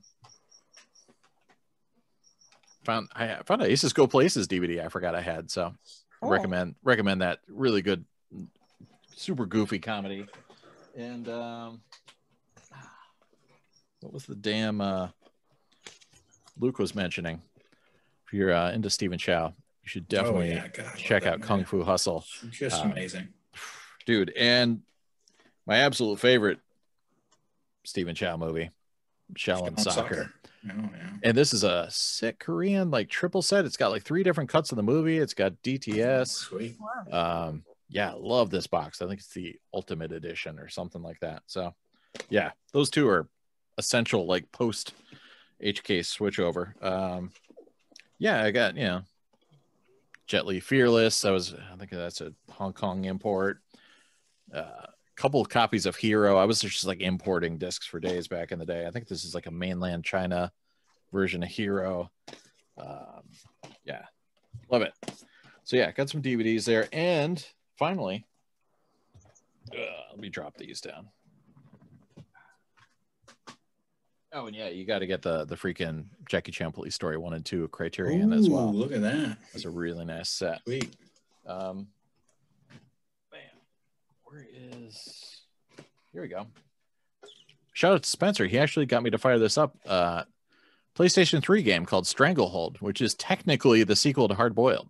Uh, it's got Chow Fat as Tequila, and it's got a whole new story with you know like a kidnapping and kind of going out and taking on the the triads. And the basically the, the concept of the game is just what wouldn't it be cool if you lived in a John Woo movie and so you can interact with everything in the environment. Kick off walls there's carts everywhere for you to roll on while shooting multiple bullets. And there's like this cool system where you can enter in tequila mode where pretty much everything's in in slow motion and you can like dodge bullets and like you can uh like point out the exact part of a body you want to hit. So you can like shoot a guy in the nuts from across the street and he you know reacts just right it is completely insane uh it got a lot of kind of mixed reviews at the time but i mean you're chow yun fat like killing everybody in the room in the most stylish way possible um it's got a lot of great levels and it's fun stuff. There's like a special limited edition that comes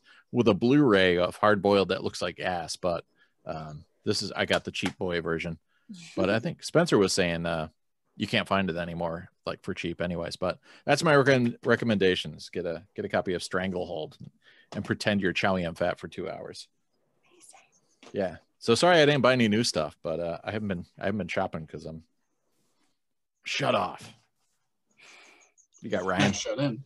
i'm shut in All right, so uh, I I did buy some new stuff. Yeah. Here we go. Uh, this was a Dollar Tree finds. Ah, Wow. I, I got that in the stack too Yeah, I I hear that this one's not the greatest quality, but it was a dollar and it's the killer. I mean, i have so many copies of the killer in here why would you pass that up? i know right I got a film called OSS 117, which on is blu-ray look at you Blu-ray, uh, French uh, spy film. for no reason Definitely not playing anything. Yep. Uh, I hit up the Massacre video store and I got Oh. Toxic Zombies, which looks amazing. look at that Uh, Final Step, Wow. another amazing looking film. Cool. and enter the devil because I, I was going to buy one thing and I'm like, well, if I, you know, spend and buy two more, I get free shipping, which is totally worth it. So I did. look at that cover yeah, I mean, and these are all limited editions with Yeah. uh, slip covers. And Ooh. once they're gone, they're gone. So you kind of have to. Yep. eBay gold Uh, shout out to Luke for holding Yeah, that's what I'm talking about. This is number 194 of 300 and it's a Blu-ray. Yeah. So So I, I'm I'm totally addicted to these guys. Yeah, Orange Gold Gold Ninja is a Canadian guy. He's doing his own. He's making it out of his home. It's what we should be doing if we were on our shit. But like, he he does his own commentary tracks. It's amazing. I love that. I love it. Yeah, yeah, and uh, Jackie this- Chan, like a fake Jackie Chan box set soon of like all fake Jackie Chan movies. nice is uh is this uh the uncut version as well? Do you know? I think it is. Yes, it is. It is the booby version. But he talks about the other other one. booby version Good. Um, I didn't have this, so uh, I used that uh, place that gives you free two day shipping. Ah, I've heard of that. Yeah, Did Max have that last week? Yeah. yeah, Yeah. We, we were talking about it. I'm like, I, I need that. And Yeah, you so do. I I'll did. go to twodayshipping.com and check that out. Yeah, exactly. Uh, I got a really sweet movie. Oh hell yeah! yeah. Yeah, so Wow. that was Heavy Trip is the Yep. U.S. So this is uh this is subtitled, but it's uh it's about heavy metal. So Yep. really looking forward to it. It's on a partner label from Vinegar Syndrome. Shout Yeah, I heard a lot about that one. Yeah, it looks hilarious, so it can't be bad. Um, and then a couple more from uh, our friends at Vinegar Syndrome. We got the VSA for Grave Secrets. Ooh. I love these boxes. Like they're just beautiful design. So if you're a fan of the film, check it out. Yeah. Oh. Uh, All American Murder, Ooh. really sweet slipcover. Looked Wow. like Christopher Walken on the front there. And- He's like fake Walken. I think it might actually. It is. It is. Whoa, Wow. So I haven't seen Oh, this, but That's amazing. that's real Walken. and uh, the cellar, Mm. cool. nice. There. Not to be confused with Cellar Dweller. Yeah, different. Yes. And then this is their first box set of homegrown horrors. So uh, these are uh, really cool slip top box, and uh, it's got Winter Beast, Wow. Beyond Dream's Door, and Fatal Exam. And I believe one of these is uh, trying to find it. Uh, do, do, do, do, do. Of course, I can't find it now, but I believe one of them has uh, a young Frodo on it. Nice. oh. Young Frodo. Yeah. Oh yeah. Baby Elijah Wood. Frodo. Yes, and then uh, I have some vinyl. All right. I, I went to a thrift store, which I really don't do much because COVID and everything. Mhm. And I did find a couple uh, gems, and everything was two for a dollar. So uh, Jesus. I, I cleaned up. So I'll show I'll show just a couple highlights. Yeah. Heard of these guys? So, Yeah. That's obscure, man. I don't know. yeah. They uh they did more than one album, I guess. Wow. Wow. How did that happen? It's not like anybody knew him. I don't know. Wow. And then, Never heard of these. Dollar. Yeah, the old two for a dollar. Oh man, yeah, that's that's a cheap disc. And the, the Yeah. guy's on fire, so it looked cool. I, Yep. I don't know. It doesn't even have the band name on the cover, so Yeah, I'd probably pay 25 cents. Maybe. I don't know. I, I might have overpaid. But Yeah, you might have. Yep. The vinyl in them are immaculate, so like Wow. VG plus or better. So Yeah, that would yeah, maybe five dollars at the most in the open market. yeah, yeah, yeah. And then uh, a band that was popular once upon a time uh, came out with a new or a re-release. Oh wow. Wow. So I've uh, never seen that on vinyl before.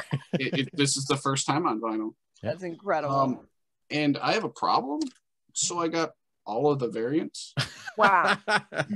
uh, because I'm, Yeah. How many variants do you there have? were there were three variants. so Jesus. I I, love it, it's I, I haven't even listened yet, but it can't That's be a bad. trip. And then uh, this band, uh, Weezer, came out with Van Weezer, Nice. and the Oh. indie vinyl is peak. So Ooh. really, really So are cool. they are they are they playing Ha- Van Halen songs? What what is? They're not playing Van Halen, but they're playing heavier, and it's actually I liked this better than their last one. So All right. Okay. So yeah, check it out. Uh, shout out to Culture Shock and Rockford too. Oh. Cool packaging. Yeah, Yeah. it looks looks great. Indie exclusive pink vinyl. You can't go wrong. Like it's the way it should be. Nice. All right, Maxine, what do you got? I got some records. Yay. Buying records again, guys. Terrible influence. It's our yeah, we're bad influences. I got this one. Ooh, what Sound the hell? Odyssey. Ah, freaking realistic. Sick. Direct to disc. That's a Radio Shack's brand. It's red, Damn. Which looked really cool. Wow. But um, yeah, dynamic technique and high fidelity stereo. It has Star Wars. It has all these theme songs on it. It's got the Nice. Rocky, uh, SWAT, Shaft. I mean, it's some killer hits here. That's good for a party. Oh yeah. Oh shit. Keep it seven keys? Yeah, Oh, sick. which freaking was you know similar price point to Ryan. So That looks like an OG like original pressing too. yeah, I think it is. Nice. Oh damn. Never heard of this. This was from the you know take take it from the this was the freebie when you buy buy one get one free pile. So Sweet. Promo stamp. Yeah, it's a promo stamp. But you know, these guys, look like they're gonna bring the heat, Oh man, yeah. Especially that guy in the middle. right? This one right here. They definitely have day jobs. And then I got that Milkman, Oh, nice. it just kind of looks like it's kind of maybe a dance club version. Yeah, it looks something. like a 12 inch. Yeah. And then this one, whoo! Hell yeah, baby. I couldn't believe this. Freaking Is- hell yeah. So cool. Oh, just the fact that it is real.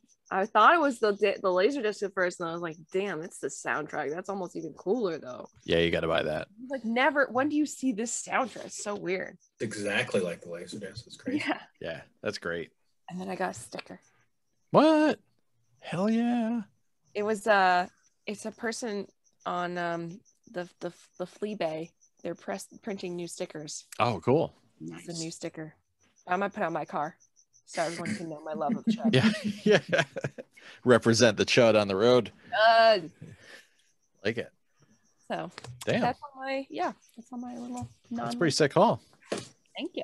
Yeah. What do you get, Luke? okay. Uh, so my my uh, my thrift store, there's a thrift store on base, and they got some new discs, and I was pretty excited about that. The first one I got is the season one of Batman '66. I have the uh, the Blu-ray, but I saw this. I'm like, oh, I gotta get this. Yeah. I, I love Batman '66. It's just so great.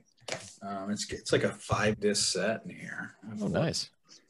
Um, so I'm, I'm going, I'm going to be gone for two weeks. I'm going to go on the ship uh, to do my job for two weeks, maybe one, but probably two weeks. And I was like, the best thing about it is like I have all the time in the world to watch movies. Like I'll, I'll work for a little bit and then I'll just go and watch movies. And I was like, I'm going to watch all the Fast and Furious movies. Like I'm just going to do it. And then I, I just started buying them uh, on the Fast and Furious one, which of course is just a Incredible. it's uh, Point Break. What what's the what's the um Patrick Swayze movie with the Keanu Reeves Point? Yeah, Point Break. Yeah. Yeah, it's a Point Break ripoff, Yep. and it's you know they're Yeah. whatever. Um, but then I skipped and I got uh this four right Fast and Furious. Yeah, yeah, that's Tokyo four. Drift. It's the four one. Yeah, you got to get the Tokyo Drift. Where's Tokyo Drift? I, I skip, I'm skipping all that. I've Ah, seen come on. See, I have seen them. I'm skipping forward a little, I, and I couldn't find them. I know that's the thing. I couldn't find them. All right. Do you have a big lots? I there's no big lots around me. Yeah, there's always a like one through eight box in, in or you know a big Or lot. the individual releases? Yeah. Yeah, yeah. Uh, I watched this. It's it's it's like a rehash of Yep. you know it's like a back to basics kind of whatever. But I It's got yeah. the CG mine, like the mine racing scene. oh yeah, Yeah, or like when they're you know trying to go across the border there. yeah. And they go on and they they know exactly where to drive. And, Yeah, of course. Yeah. Of course. Um, but I hear five through eight is is where it gets really good. Like all these movies are just dumb, easy to watch, fun nonsense, and I'm I'm all about that. So, uh, yeah, I, I also got five, and I got six. Of course. yeah, that's all all the ones I found. I also found. Um, let's see what else. Yeah, I'm looking forward to watching Fast. All right. It's, it's going to be a lot of fun. Uh, I also found uh, Blu-ray Do Right, Do right Thing, Yeah. uh, 20th anniversary. It's like it was two bucks a book off. Got two two uh, commentaries from Spike Lee, I think. Nice. Screw you, Criterion. We don't Fuck need you, Criterion. um, also going underway, going to leave. Uh, I bought a book. Let's ding the bell for the word um, Nice. list here. I got uh, Seth Rogen's book. It just came out called Yearbook, and it's just stories about him and crazy thing that's ha- crazy things that's happened to him with famous people. I think I listened to a podcast. The, the reason I got it, he was on Conan, the podcast, and they, he had a funny story about Nicolas Cage or something. I was like, you know what? I'm going underway. I need a book, so I'll go. I'll go get this book. Um, and I like it because on the back it's just like a, a blurb from his mom, like no nothing else. That's great. No, no bullshit blurbs. Um, let's see. Um, I listen I, when I run. I listen to podcasts, and I listened to a podcast with uh, John Waters and Marc Maron the other day, and I was like, you know what? I really like John Waters. Like I may not like his movies, but like his world out view of li- like his punk ethic, Yeah. I, I like all that. And so I was like, I'm getting all this shit. Like fuck it, I'm going for it. Uh, so I got Multiple Maniacs, the Yes. Criterion Blu-ray. Um, this one I tried to watch, and it's pretty rough. Like it's pretty not not you know hard to watch or anything, but it's it's a movie made with his friends, you know, Yeah. at his mom's house, and you know, it, it was Unpolished. Unpolished is the Yeah. word I'm looking for. But it, he he calls it like a kind of almost like a Godzilla movie. Mhm. At the end, you know, she uh, Divine dies like you know after Divine dies, end of the movie. Like it's like a Godzilla movie or something. Um, next one, Female Trouble. Nice.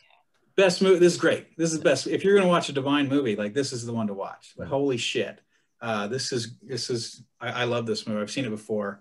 Um, it's like uh, I can't. You know what's the? It's just the story of Divine. Uh, Dawn Davenport wants the Cha Cha heels. You know for Christmas.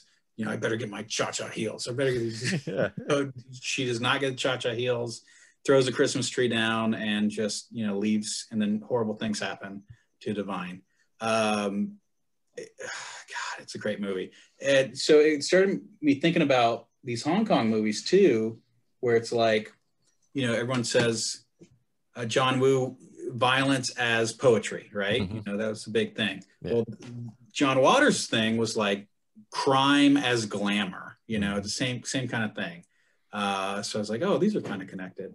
Um, uh, great, great movie. Which is the movie where she's like licking everything in the house? Is that the one? I was, I was trying to remember which movie it is. Yeah. Like licking the railings and everything and trying to get everyone sick. Yeah. All right. I'm not sure. I'll have to look it up. Uh, last this is so there's the only three Criterion Blu-rays they have, and the polyester is the last one. Yeah. This was like the big budget movie. It's got a real star in it. He's you know what Tab Hunter. He was in whatever, and just uh, Divine is a housewife, and just everything bad happens to poor Divine.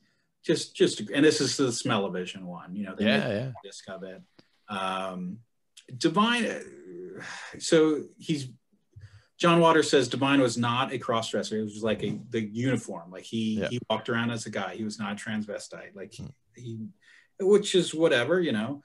Um, it, it was just like his uniform for his job. And he, but he was such, he played such a great female. Like it was, it was just so great and just such a believable one. And then Hairspray as well. Like uh, he plays Ricki Lake's mom. Um, it's a sad story too. Like he died like right before he was gonna be in Married with Children. You know, like he had this role for Married with Children. He flew to LA like the day before he was going to go in to do the line readings. He died. Like was- that was it. You know, he was on his way f to blow up. Um, anyway, I, I like John Waters a lot. It just Nice. Yeah. uh, last two things I got, which um, my friend Tyler Bell made these VHS bootlegs. Uh, the first one is the the, uh, the new Chucky movie, the new Child's Play. Um, he made this before, and it's you got to look at it. It's got the skull, like he Oh yeah. I don't know what the fuck he does, but he put the skulls on them, and he he made this a while ago, and it was in four three, and I'm like, dude, I can't I can't fucking watch this. Like it's it's horrible. Like it's just it's homemade four three, and he's So like, oh, Doesn't even move. Yeah. and that's a that's the trend now in these. Yeah. bootlegs. Yeah. But it's just it's unwatchable, and I showed him pictures. I'm like, I can't. No, it's bad. Yeah. He said, okay, and then months later, he's like, hey, I've got that. I've got a real swap for you. Just swap it. I'm like, oh, you remember that? Cool. And so he mm-hmm. sent it to me, and I swapped them out. And I actually watched the movie. Like I hadn't watched the movie before, but it, it it's a. I don't know if you guys watched it, but it's it's Yeah. decent. Like it, Yeah. Yeah, it's it's one of the better.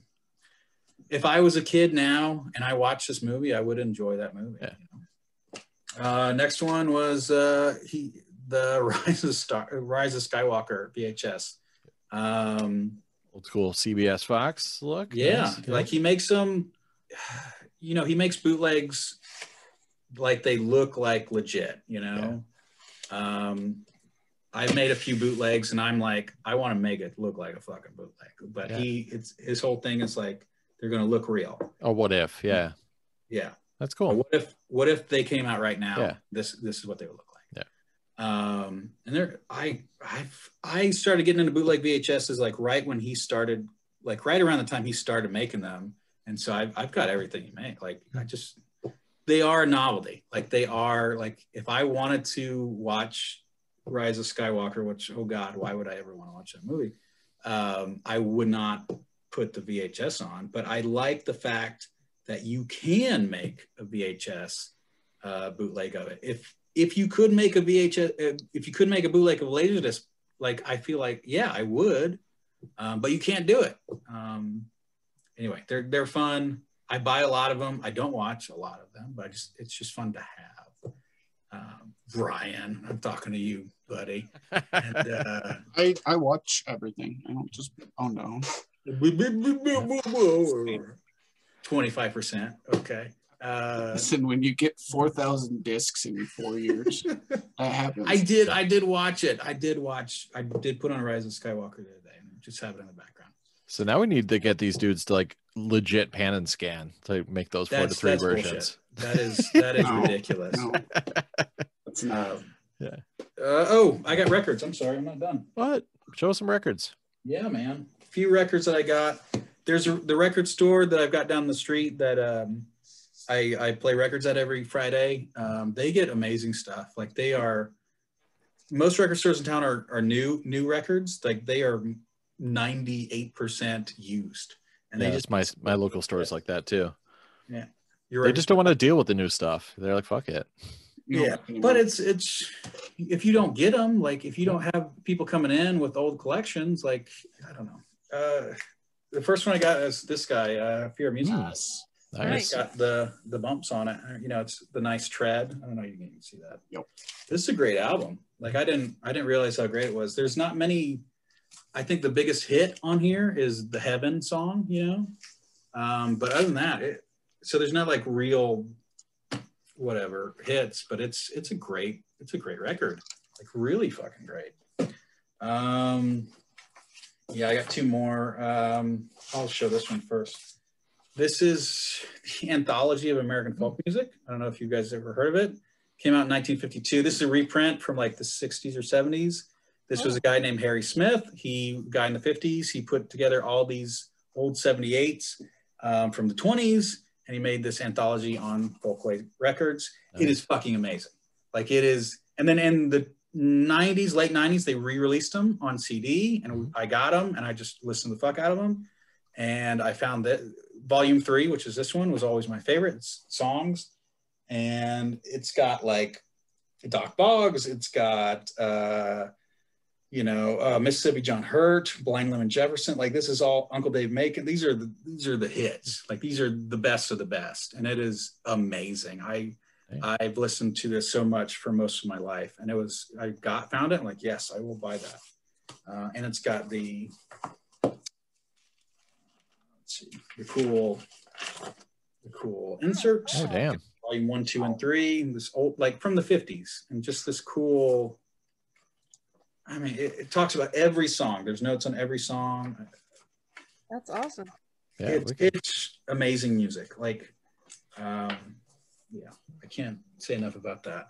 Last thing I got was uh, this guy. I don't know if you've heard of this. Oh, little Oh. Tim Tim by the replacements. Yeah, Nice. original press. Like they just they said that somebody just brought in like all these. They said all these Nick Drake records and all these like, Oh. like it, Oh, you're killing me. and just like hey I'm I'm done with these. Here you go. Like whoa, whoa, whoa, whoa. Yeah, I Um, almost I almost bought a Nick Drake record. It was like stupid expensive. It was on Yeah. the wall, of course. Yeah, they said yeah they had one for like two hundred dollars. I yeah I, I, I went back a day later and it was gone, so it, it Yeah. saved me from myself. Yeah, Yeah, it's always good. Yeah. Yeah, I had a rule that if you go back and the record's still there, okay, yeah, I guess I got it. Then you got yeah, exactly. Yeah, so, yeah. Um, uh, Cool. I think I've talked about everything. That's it. All right. Yeah. Wicked. I always forget to do the uh the recommendation after the the non LD uh kind of pickups thing. So you st- you have another recommendation, Ryan, or Uh, the bag? no, I didn't really watch anything that wasn't on Laserdisc. So All right, that's cool. I guess I'll throw down another one. I got um this uh bootleg of uh, Beach of the War Gods. If you've never seen Beach of the War Gods, find a copy. I think there might be some DVDs of it out there somewhere. But it's like um, Jimmy Wang Yu, I think, is is like pretty much like a Clint Eastwood rolling into a, a Chinese town with a badass like it's pretty much got like a good, the bad, and the ugly kind of score, but like with um like more of an Eastern flair. And the the Japanese soldiers are just attacking everyone and fucking up this town. And uh, they just have this show uh, showdown on a beach, but they like go the night before and they like booby trap the hell out of it. So there's all these just sick kills and explosions and badass stuff. So yeah, old like 1971 Beach of the War Gods. Get it. I did watch this. It's Oh, there you go, and there's a nice fighting sequence at the end. So win-win. dude. Maxeene, Yeah. Anything else? Oh man, uh, I've been really just watching. Um, I'll I'll give a shout out to a YouTube person. Oh, Uh, cool. Yeah. They're called Bad Chad. Um, they like it are already. a uh, car fo- uh, focused.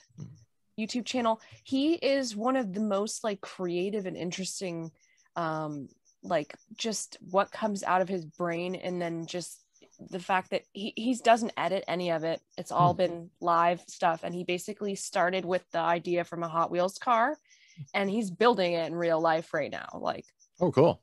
like and he just he's just using whatever he's he's in canada he's in nova scotia canada Nice. and basically using whatever trash or extra metal pieces just whatever he is laying around or whatever people will trade to him like it's he's just wild and he's crazy crazy talented like he Hmm. should be way way bigger like he had a discovery um channel show. But they really kind of didn't do him justice like because it's all edited and they add in all the crap you know Sure. Yeah. Got to So- spice it up. Yeah. yeah so you can really see like his insane level of like like he, the cars that he's building are like they could go to pebble beach like they're incredible so totally worth checking Wicked. out what he's doing yeah Been streaming anything special, Luke, or any Um, special recommendation? That new, so I really like this show called Shrill with uh, Aidy Bryant from Oh, she's great. SNL. She their first two seasons were great, and then season three just came out. I'm looking forward to seeing that. Is that Hulu? It, like it's it's a great show. Hmm. Um, yeah, Nice. that's about it. Cool. Uh, all right. So final spins, final thoughts. I am going to um, crush the John Woo movies I haven't seen. My next two spins are going to be uh, Heroes Shed No Tears and uh, Last Hurrah for Chivalry because I've never seen these damn things. So I'm going to go old school Woo. Uh, what about you, Ryan? I'm gonna watch Nukie. I- I'm not- Now, if someone didn't have a copy, is it available on eBay or something? Uh, I hear that uh, for the right price, it is. Uh, it just depends on how much you want to drop on it. okay. But uh, otherwise, uh, I don't know what I'm gonna watch. I think I might start out with like Apt Pupil or something. Hmm. I don't know. Cool. All right. Random. Ooh, what do you got there, Max? out. the setting, Setting sun. sun. I I had heard good things about this, and then I was even more intrigued when I found a bunch of like letters, correspondence from a person in the '90s who was specifically looking to get the Setting Sun soundtrack CD because it's Huh. Ella's Ella's last uh, Ella Fitzgerald's last singing, I guess, Really? in the soundtrack. And then instead of being able to find the CD, which is apparently very hard to find, this this correspondence says, "I'm sending you this because it's on here." Huh. So this I have no idea. It's got Diane Lane in it, but it's it's like this kind of like Hong Kong kind of vibe. Interesting. Yeah. So really kind of interested and this was on I looked it up to see if it was more action or more drama. And since it was more drama, I I put it to the side. Oh, check that out. Action, but yeah, it looked cool. hmm. Very interesting. What are you spinning next, Luke? Oh, oh Nukie. Yours looks Probably different. Is yours like a Singapore version or something? no, it's the same. It's it's just got the uh, the Singapore sticker on there. Yeah, well, that adds value, I think, whatever. right? Value. Uh, at least a thousand dollars. I would think so. Yeah. Probably put it on Probably eBay for at some least John Waters. Yeah. Oh, Yeah. cool. All right. Excellent.